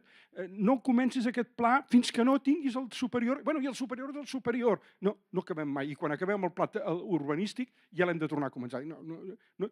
Jo crec que això és essencial perquè no donem respostes a les demandes de la, del, del país. Un exemple només també, a part d'aquest del tema del, del pla de, de, de, del que representa l'àrea metropolitana respecte al conjunt de la regió metropolitana del país. Per un altre, ens felicitem, estic molt d'acord, tot el planejament que va sortint ara, grans esforços, anem desclassificant sol, introduïm les d'això del, del creixement, però, però necessitem 700.000 o no sé quants eh, nous habitatges. Eh, eh, I no parlem de la, no, no parlem de l'urbanisme aplicat sobre, sobre els teixits urbans. No, no donem una nova prioritat a la, a la reforma, a la transformació urbana, que sí que segurament ho volem fer. Vull dir això simplement. I això sí que requereix una sacsejada de país.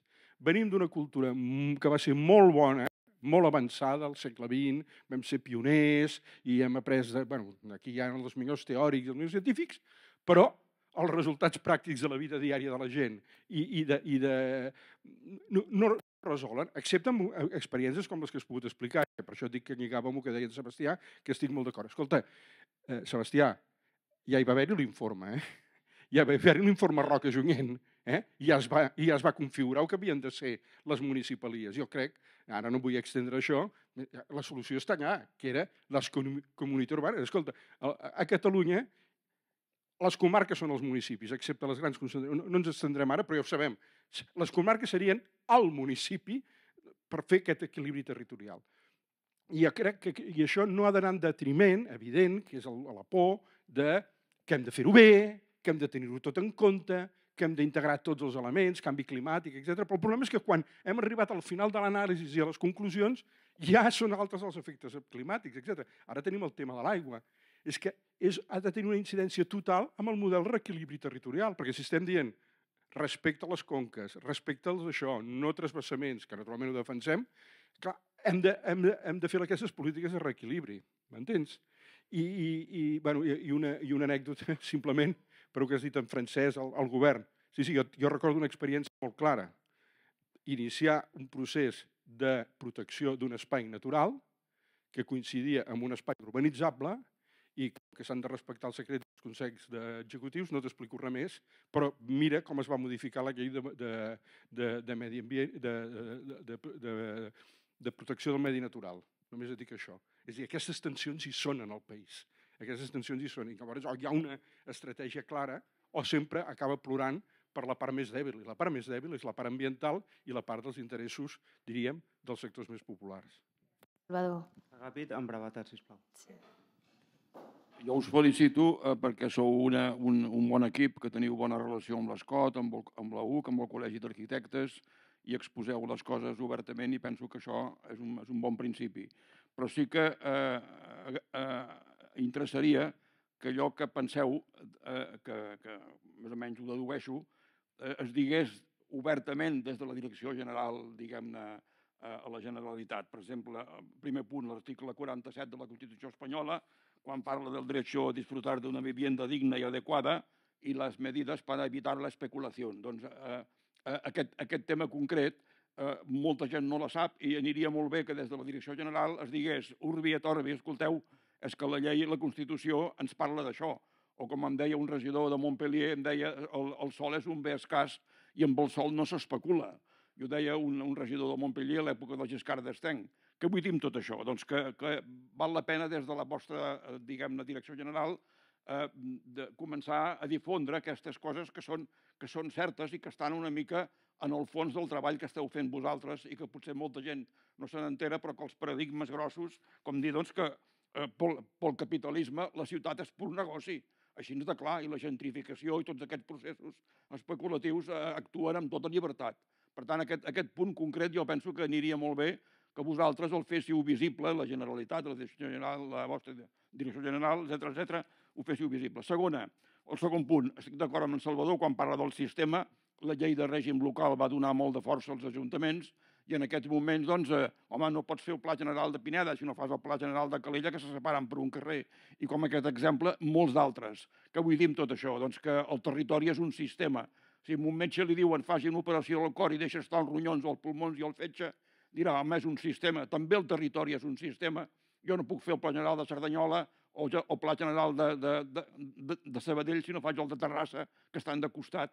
Per tant, aquest, aquest concepte de, de, de visió intermunicipal, jo descarto la, la, la, la, la paraula supramunicipal, prefereixo intermunicipal.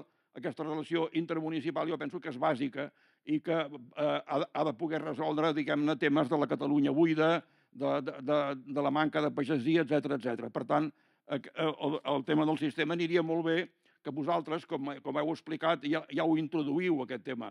Ja l'heu introduït, eh, però que d'una manera, d'una manera pública, d'una manera pública diguéssiu, és que, eh, és que el territori és un sistema i això s'ha de superar i que si ho dieu vosaltres des de la vostra alçada i de la vostra capacitat pedagògica, això té un efecte, jo penso, interessantíssim, que ja ho esteu fent amb, amb els treballs que però la gent no se n'entera i, per tant, que, que, que molts alcaldes diguessin és que el, el territori és un sistema, clar, el que passaria és de que els partits polítics hi estan en contra, perquè dirien, mira, abans teníem aquest municipi, aquest, aquest i aquest, i ara, amb aquesta història que ens han plantejat d'una visió intermunicipal, ara no ho tenim.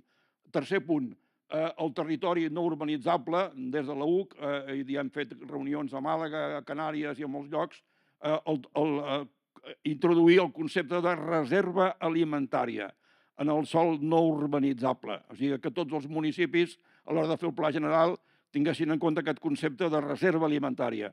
Això genera, a més a més, doncs, una dinàmica forta, perquè molts fills de pagesos no volen fer de pagès, etc etc perquè doncs, no, no, no, hi ha, no hi ha cap negoci, i en aquest sentit doncs, jo entenc doncs, que el tema de la Catalunya buida i el tema doncs, que hi ha molts problemes doncs, arreu, doncs aniria molt bé doncs, plantejar aquest, uh, aquest tema.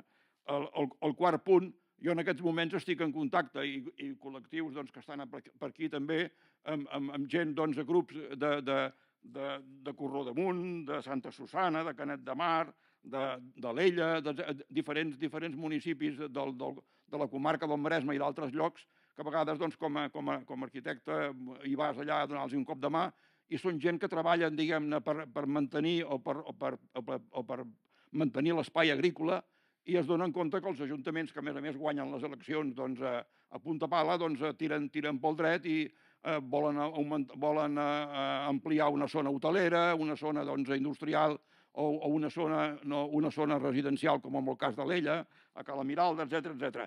El que vull dir amb tot això és que aniria molt bé que l'Ajuntament, perquè a vegades em pregunten a mi, i, bueno, i, i què opina la Generalitat? I, i bueno, jo dic, home, doncs eh, us, eh, sembla que també estaria d'acord amb això, doncs, eh, i us donaria un cop de mà, però és clar, aquesta, perquè és que són gent que són alcaldes i municipis que volen anar creixent, creixent, creixent, no en tenen prou en mantenir una zona, una zona que, que hauria de ser agrícola, sinó que volen anar creixent i creixent i creixent. Clar, esclar, per, per, per parar això, aniria molt bé que des de la Generalitat féssiu alguna intervenció eh, clara. I acabo, acabo amb, un, amb, el, amb el tema, diguem-ne, de la Catalunya buida, que abans ja s'ha parlat, o, o, però, perquè és veritat, vull dir, al nord de Catalunya doncs, eh, i en altres llocs doncs, cada, eh, la gent la gent se'n va, la gent se'n va a les zones metropolitanes on hi ha més activitat, i això doncs, és un tema, i jo penso, eh, molt greu, que el planejament doncs, ho ha de resoldre eh, i que molts, això també demana que molts alcaldes es posin d'acord i que treballin conjuntament i els alcaldes, per la llei del règim local, estan acostumats a competir, a rivalitzar i a no saber res l'un de l'altre. I, i, I els partits polítics diuen, home, és que abans amb aquesta organització teníem aquest ajuntament, aquest i aquest, i ara doncs, només en tenim un o dos per culpa vostra, perquè això és un sistema. Eh, però, és clar, això des d'un punt de vista professional ho hem de plantejar. Si no ho plantegem nosaltres des d'un punt de vista professional, els partits polítics no ho faran i els ajuntaments tampoc. Per tant, ens, ens recau aquesta responsabilitat. Escolta, jo aquesta bateria de comentaris i preguntes volia afegir una pregunta molt concreta d'una cosa que heu dit i que no m'ha quedat clara. Per alguna banda, el Francesc en algun moment ha dit estem encarregant alguns estudis per temes de planejament territorial sectorial, però també jo he entès que també hi havia temes de desenvolupament del pla, dels plans territorials parcials. I si no és així, m'ho acabeu d'aclarir. Sí. Endavant, ara ja, bateria de respostes. Ens, ens en amb el, amb el director en, ens, ens repartim, farem, farem un partit de tennis. Eh, havíem, em referia al, al... És a dir, eh, anem justos d'armilla, ja ho sabeu, tota l'administració, la Junta d'Armilla i la Generalitat eh, especialment. Eh, llavors, eh, per poder desplegar en perspectiva el que estàvem parlant, el mecanisme que tenim intern a govern són els plans temporals específics. És un mecanisme eh, intern pel qual et dotes d'una estructura econòmica i, i de treballadors públics temporal que et permet desenvolupar un programa específic. Llavors, eh, havíem, eh, quan vam començar a reflexionar, de dir, ostres, hem de fer alguna cosa, tu, perquè eh, la, cami la camisa no ens encaixa, la primera cosa que ens vam plantejar és demanem un pla territorial específic per tres anys amb una dotació econòmica per crear una oficina. Eh, L'esquer, eh, abans de tenir clar si anàvem a un procés de revisió de planejament territorial, l'esquer va ser per fer el pla director urbanístic i la plana agroforestal del, del Vallès, però que teníem la idea de que això fos la, la futura oficina de revisió del, del, del, planejament territorial. En aquell moment no sabíem si optaríem per plans per revisió del, plan, del programa de planejament territorial eh, parcial o si anàvem al Pla Territorial General de Catalunya, com ara acabem, com ara acabem de proposar. Però, si no, era una pura reflexió si en paral·lel no ens dotàvem, perquè això és, és molt lent, demanar diners i demanar un pla, un pla és a dir, demanar recursos econòmics eh, i una estructura funcionarial ad hoc per fer una cosa així, us asseguro que no és d'avui per, per abans d'ahir. És avui per d'aquí nou mesos anant bé les coses. Això és el que volia referir-me, que havíem, ja ens havíem dotat, és a dir, tenim, tenim, eh, tenim el mòbil en stand-by. Eh? Eh, si no, seria, sí, bueno, bla, bla, bla, bla. bla. Llavors, eh, algunes consideracions, és a dir, la relació amb els alcaldes i amb els ajuntaments eh, i amb arquitectes municipals eh, que ens volen venir a veure, o directament a mi o en el director o en els serveis territorials, és el nostre pa de cada dia. I no ens deixen viure de tant que ens venen a veure i no tenim temps per treballar perquè ens venen a veure. I en lloc de treballar vivim en una reunió. És a dir, ho dic en el sentit de que la, el departament és obert perquè és la nostra obligació eh, i és, el- de fet és la constant, és una de les constants, o ja no per discutir planejament que no ens acaba de fer el pes quelcom que ens porten després d'una aprovació inicial, sinó per parlar de criteris, de preocupacions, de voldríem fer això, com ho veieu, com ho hauríem de fer, això és el constant, eh, públics i privats, eh, però sobretot públics. Vull dir que des d'aquest punt de vista estigueu tranquils perquè eh, els hi pot dir qualsevol que només han de trucar i, i en la mesura que el dia té les hores que té, nosaltres treballem 12-13 hores al dia, per tant, amb aquest límit eh, la porta sempre és oberta. Eh, tot és molt complexa, és a dir, eh, jo tinc una, com és obvi, tinc una sensibilitat política de- determinada, però eh, és que no sempre m'entenc ni amb els meus propis companys que estan al govern i que tenen la mateixa sensibilitat política que jo. Ja no dic d'altres sensibilitats polítiques. Eh, I no només per lògiques econòmiques, que seria el més fàcil. Eh? I no parlo de noms, ni si el conseller Torrent, ni ningú. És a dir, ja no seria només de la relació de les pressions que reps d'altres departaments que són més business friendly. És a dir, sabeu que tota l'activitat de govern és intervenció administrativa, servei públic i policia administrativa. Eh, nosaltres som una de les policies administratives per antonomàcia. Gestionem el territori i decidim què es pot fer i què no es pot fer. Eh, tenim la, la potestat de planejament, som els dipositaris eh, quan els ajuntaments no actuen de la disciplina urbanística. Eh, per tant, som un departament que moltes vegades té que dir no i té que tutelar el territori. I des del cas Pretòria no hi ha hagut cap escàndol urbanístic a Catalunya. Per tant, el Departament de Territori, no nosaltres, sinó en el seu conjunt, i en aquest cas el degà, que fa temps que hi és, és eh, hi poso en valor una feina eh, soferta que és complexa de gestionar amb altres lògiques que conviuen dins del, dels governs. Actualment, per exemple, eh, mm, falten, eh, segons, el- bueno, falten certs 700.000 habitatges, és a dir, ja, bueno, diuen, eh, el Banc d'Espanya, fa falta, hi ha una falta d'oferta evident. Eh, aquells 25.000 per any que fa anys que se'ns diu que seria el que podria donar compliment a les necessitats. Molt bé, eh, i a l'ODS et diu consum zero de sol al 2050. Com eh, gestionem nosaltres eh, processos de, de, de creixement o d'activitat, de sol d'activitat econòmica o de decreixement allà on no toca, però a vegades sí que cal creixement en un altre lloc amb un balanç zero 2050. Eh, eh, sense això no, té, no tens informes ambientals pel planejament, eh? I això és el nostre dia a dia. I llavors eh, se'ns queixa que, bueno, se'ns queixen alcaldes, territoris, eh, grinyolen grandíssimes inversions, no de les especulatives, sinó les, que de les que poden contribuir a fer Catalunya més competitiva durant el segle XXI. Eh, ho dic en relació a les municipalitats i a les lògiques de, que abans també, també estàveu parlant. Jo crec, i amb això l'altre dia parlant amb l'Oriol Nelo, era un apunt amb el que coincidim absolutament, que s'ha d'utilitzar, hauríem de poder utilitzar el Pla Territorial General per generar debats d'organització territorial. Com a mínim generar els debats d'organització territorial per, per exportar-los allà on l'estructura constitucional de l'Estat eh, sabem que tenen la clau de pas i que ens permetran o no, i en, i en qualsevol cas generar la pressió necessària. Des de la mancomunació de bases fiscals en relació a compartir activitat econòmica, que ho hem aconseguit per un acord municipal a la Conca d'Òdena, però que això hauria de poder ser més senzill, fins a la generalització de planejaments supramunicipals, que com a instrument existeixen en la llei d'urbanisme, però que haurien de ser, el planejament territorial hauria de prescriure molt més això i i i així a partir d'aquí facilitar-nos l'obertura de debats d'organització territorial que llavors ja tenen a veure amb distribució de competències, amb el món local i amb moltes altres qüestions, no de nosaltres amb l'Estat, sinó de les, de les administracions subestatals. Eh, mm, eh, obrir un debat d'un pla territorial general i elaborar-lo és una oportunitat per eh, tenir clar el model i sobretot reforçar el desplegament jurídic del model també amb debats d'organització territorial, sense buscar la perfecció que, com diu el Salvador, és impossible. És a dir, hem d'anar a poder fer coses en paral·lel. Director, Sí, no, jo per donar resposta a alguna de les intervencions que hi ha hagut, eh, bueno, vull dir, en, en fi, no, hi, ha, hi, ha, hi ha reflexions, eh, més que preguntes, reflexions que no, puc més, que no puc estar més que d'acord, no?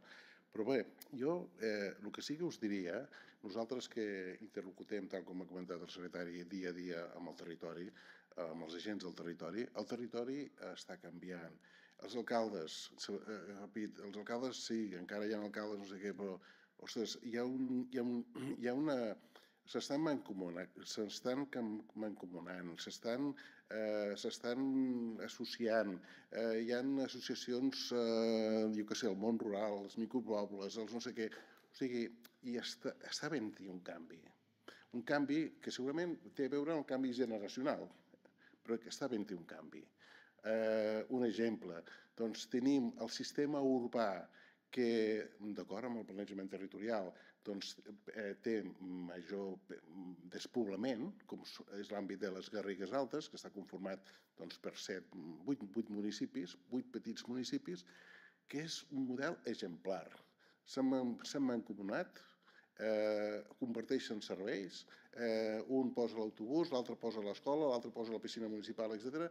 I ara, a partir d'un programa de despoblament, en fi, aprofitant un ajut de l'Estat amb, amb la Secretaria del, del Reto Demográfico, estem elaborant diferents accions, una d'elles és el planejament pluri- plurimunicipal.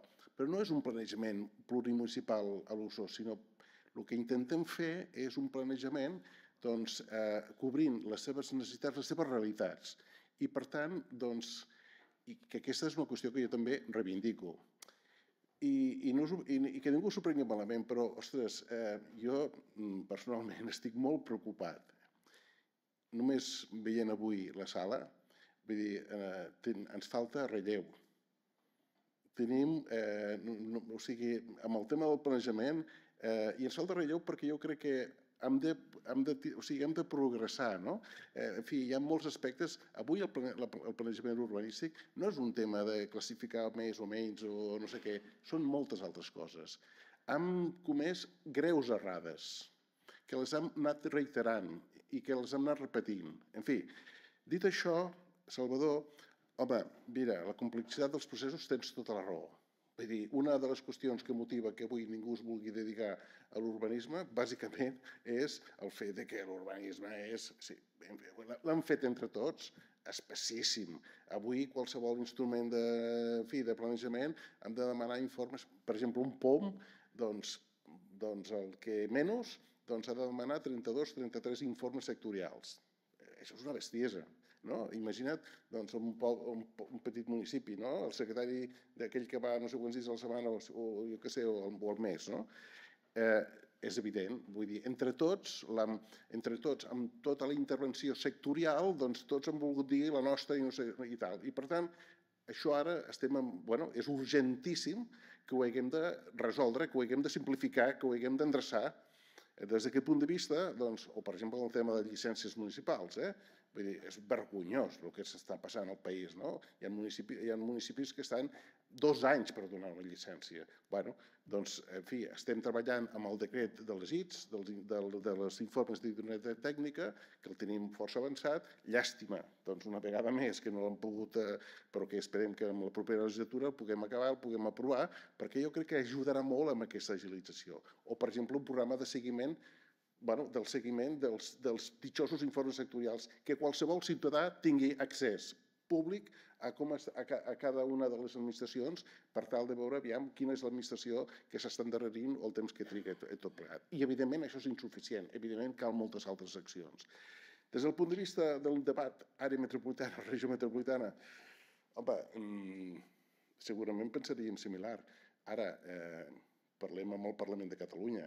Eh, de fet, diguéssim, qui ens va donar instruccions, qui ens va dir que, com ho havíem de fer és el Parlament de Catalunya a través de l'aprovació de la llei metropolitana del 2010. Eh? I, evidentment, el propi pla territorial metropolità, el qual, mm, i aquest és un aspecte que jo poso en crisi, la delimitació d'aquells 8-10 plans directors que el que ha fet és doncs, encursa, bueno, endarrerir eh, bueno, doncs, la, els processos de revisió del planejament municipal. No?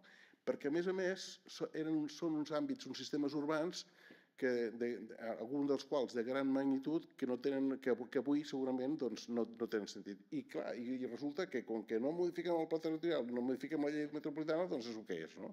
Per tant, és un debat que, en fi, que, que...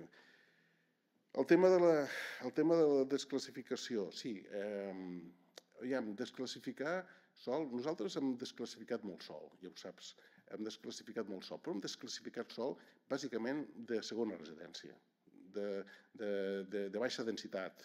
Eh, no hem desclassificat el, el sol de, diguéssim, que està dins de la ciutat o que està colindant a la ciutat on s'ha de, on de tirar endavant la primera, la primera residència. I el que hem fet, fixeu-vos bé, amb aquests plans directors, més enllà de desclassificar o no sol, el que hem fet és que sectors en comptes de desclassificar-los, els, els, hi hem, els hi hem canviat l'ús i els hi hem donat l'ús d'activitat econòmica total o parcial per donar compliment al planejament territorial. Per tant, fixeu si s'hi han fet accions de desplegament del planejament territorial. En fi, i, i, i en sortirien moltes altres. No? Ara, òbviament, doncs, eh, en fi, eh, en fi, en general donar-te la raó en molts d'aquests aspectes. No? I agapit, pel que fa al tema de, de la difusió, segurament hi ha moltes accions i moltes eh, això que hauríem de, hauríem de donar més altaveu, segurament. Eh? Vull dir, potser ens falta un tema de... de...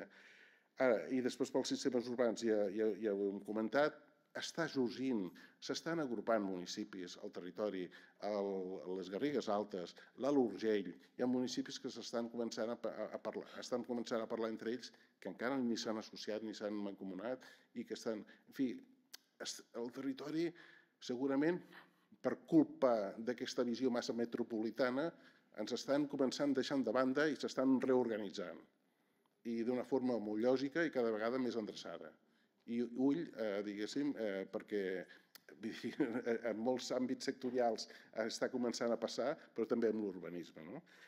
I, en fi, i, capit, eh, eh, en fi, la, la, amb el tema dels municipis aquests del Maresme que deies, que ens vinguin a veure que els, els que en sabem més de desclassificar, en sabem som nosaltres. Seguim, el Marc volia dir un parell de coses.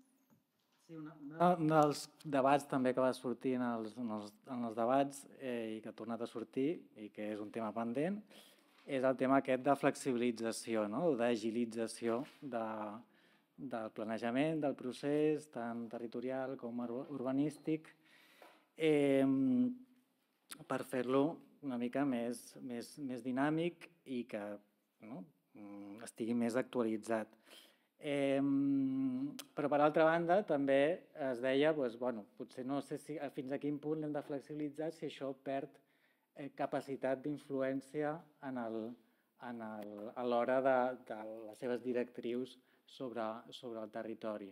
I per altra banda, eh, una mica en aquest debat no? de flexibilitat, eh, capacitat eh, d'incidència, el que veiem, per exemple, amb, les, amb el tema d'instal·lació d'energies eòliques, fotovoltaiques, és que en aquest eh, procés d'agilització el que cau primer és tot el tema d'informes ambientals. No? De, mm, o s'ha mm, flexibilitzat aquest, aquest, aquest aspecte. Quan el tema ambiental doncs, cada vegada és, és, més, és més rellevant, com hem posat sobre la taula. Una mica eh, com trobar aquest equilibri, bàsicament, entre activitat, flexibilitat i alhora no perdre rigor en temes ambientals i capacitat d'incidència d'aquests instruments. Vale, Deixeu-me donar una última paraula als assistents, a la Montse. Falta un micro, Montse. Jo, jo aprofito, vale? i si m'encomunem una- si més, tindreu menys reunions, i potser serem més eficients i recullo aquí. I també, home, sí que hi ha relleu gener- generacional. Si no estan avui aquí, ens hem de preguntar què passa amb els actes, però sí que n'hi ha. I a més a l'urbanisme interessa i agrada. Vinga, Montse, passo la paraula. Sí, però, però falta. Però nosaltres que estem en, a, a, enfront de- de- d'ensenyant de, a, a, a l'urbanisme a molta gent, notem, notem que falta, falta molta base. O sigui, no sabem, o sigui, estem ensenyant, ensenyant, però ens trobem mm, amb un, amb un plató d'alumnes que a mesura que van passant els anys amb, més, amb menys coneixement. bueno, deixeu-me fer aquest parèntesis perquè ha sortit això. Estem preocupats. Jo, personalment, cada any estem preocupats i amb això dono la raó. I, i voldria també donar... La, la Lola està animada perquè ara també es ficarem això del postgrau i ja està. Acabem, acabem, perdó. No, voldria a- agrair la, el to de realitat que han donat els nostres ponents d'avui, amb que, que de vegades veiem les coses oi, que no s'han desplegat, o sigui, això que no s'han desplegat les coses, que els plans diuen unes coses i no les fem. Havíem de ser molt reals. Els plans, com els des del POM fins a un pla territorial, fins a un pla director, és a dir, al final, la, la realitat urbana, econòmica, social del moment, hem d'acceptar, no ens hem de- d'exasperar. I, si, i, i, I no passa res, perquè no s'han desplegat uns plans directors que deia, perquè és que no tocava, i tocava els que han fet. Jo ho sento. O sigui, eh, entens? O sigui, ens hem d'adaptar a la realitat. I després, això, i, i, i, ser molt conscients, tots aquests que estem parlant de planejament, de, de, de que la, el dinamisme l'hem d'acceptar. No, ens hem de, no ens hem de dir, ai, que malament ho hem fet, aquests plans que no s'han fet. No, no. Hem de ser positius i afrontar i, fer el, aquell moment, aquell, aquells municipis que demanen el que sigui. Vull fer un apunt. I, mm, també, perdoneu, que vaig una mica tard, és el tema que es parla sempre d'aquests supramunicipalitats, tot això, o que en diu intermunicipal. Jo crec que si ens posem en temes d'organització territorial ens estrellarem. Però jo vull, vull posar la punt sobre la capacitat que té el planejament, en aquest cas territorial, que no sé quines són aquestes premisses, ni aquell llibre que teniu, ni els debats que teniu, però l'experiència que ens pot donar el pla, el pla director ara metropolità que està fent en quant a continguts, eh, podria, a uns sistemes urbans definits en el planejament territorial, podrien determinar una manera de fer el planejament molt novedosa, molt positiva i molt engrescadora en dir, bueno, hi ha temes supramunicipals que són el no urbanitzable, el sol, eh, perdó, els espais oberts i el sòl urbanitzable que s'han de definir en un marc global. I després cada ajuntament que es posi amb el seu sòl urbà i no ha de fer informes, o sigui, un model lligat tot això, per això vull defensar que es faci la llei de territori i que es facin tots aquests plans territorials per defensar que, aleshores, cada municipi que faci les cosetes del seu sòl urbà i ja està, i no necessitarà els 32 informes sectorials per fer l'ordenació de detall del municipi, sinó que serà aquest pla director que farà 7 o, 8 municipis amb aquests sistemes urbans que podrà resoldre tots els temes aquests supermunicipals i que necessitaran aquests informes, que si temes d'inundabilitat, temes de, de tots aquests informes sectorials, que es facin en els plans directors i que després el detall del sòl urbà, o sigui, que el faci cada municipi. Per tant, avançaria molt amb tot això, aquest, aquesta problemàtica de, de, de, de, de, de la complexitat de, del planejament, que és un desastre, el tenim ara. I per això vull animar que, que es faci la llei de territori, vull animar que es faci el pla, el pla director metropolità, perquè serà un exemple, jo crec que ens hi hem de ficar, jo crec que li falta encara una mica al pla director, que ens, fa, que ens hi hem de posar tots, perquè sigui un model Llavors, a través dels sistemes urbans, la potència que té el planejament ter- territorial per diferent uns plans directors en aquí i, per tant, eh, sapiguem quins són els instruments i els elements d'aquests- d'aquesta supramunicipalitat i després que cada ajuntament fa el seu sol urbà, jo crec que ser una via molt bona per anar avançant amb, el, amb tot el que heu estat parlant. No sé, volia fer aquest apunt. Montse. Doncs anem a tancar ja, sí? Sí, home, a mi, a mi m'engresca molt aquest debat eh, sobre la supramunicipalitat. Justament aquest matí amb el Marc per telèfon estàvem repassant les dades, justament el que deia el Seba Jornet, els 34.000 municipis francesos, i a mi ja, els que esteu acostumats a venir aquí, ja m'ho heu sentit més d'una vegada. Hòstia, dius, el, el Sebas diu, el planejament no serveix per res, tret de... Bueno, bueno, tret de. Aquest tret de és definir uns àmbits territorials, però que a més a més aquests àmbits de, de supramunicipalitat a França estan dotats d'un instrument de planejament territorial que es diu justament SCOT, que es diu Esquema de Coherència Territorial. Doncs bé, aquests SCOTs que hi ha a França cobreixen, si no m'equivoco, i potser m'equivoco però de poc, el 96% de la població i el 86% del territori francès. I són uns instruments que emanen d'una unió de municipis que a més a més té una jerarquia en funció de la complexitat d'aquests àmbits territorials, és a dir, generen unes directrius de planejament més o menys complexes en funció de la seva complexitat urbana i territorial, però que a més a més estan vinculats fiscalment. És a dir, la fiscalitat d'aquests territoris està vinculada a la, primer, obtenció o no d'aquest escot, i segon, el seu acompliment i les mesures que se'n derivin. Per tant, hòstia, hi ha un marge, hi ha un marge que des del planejament territorial és, és, és, és molt potent.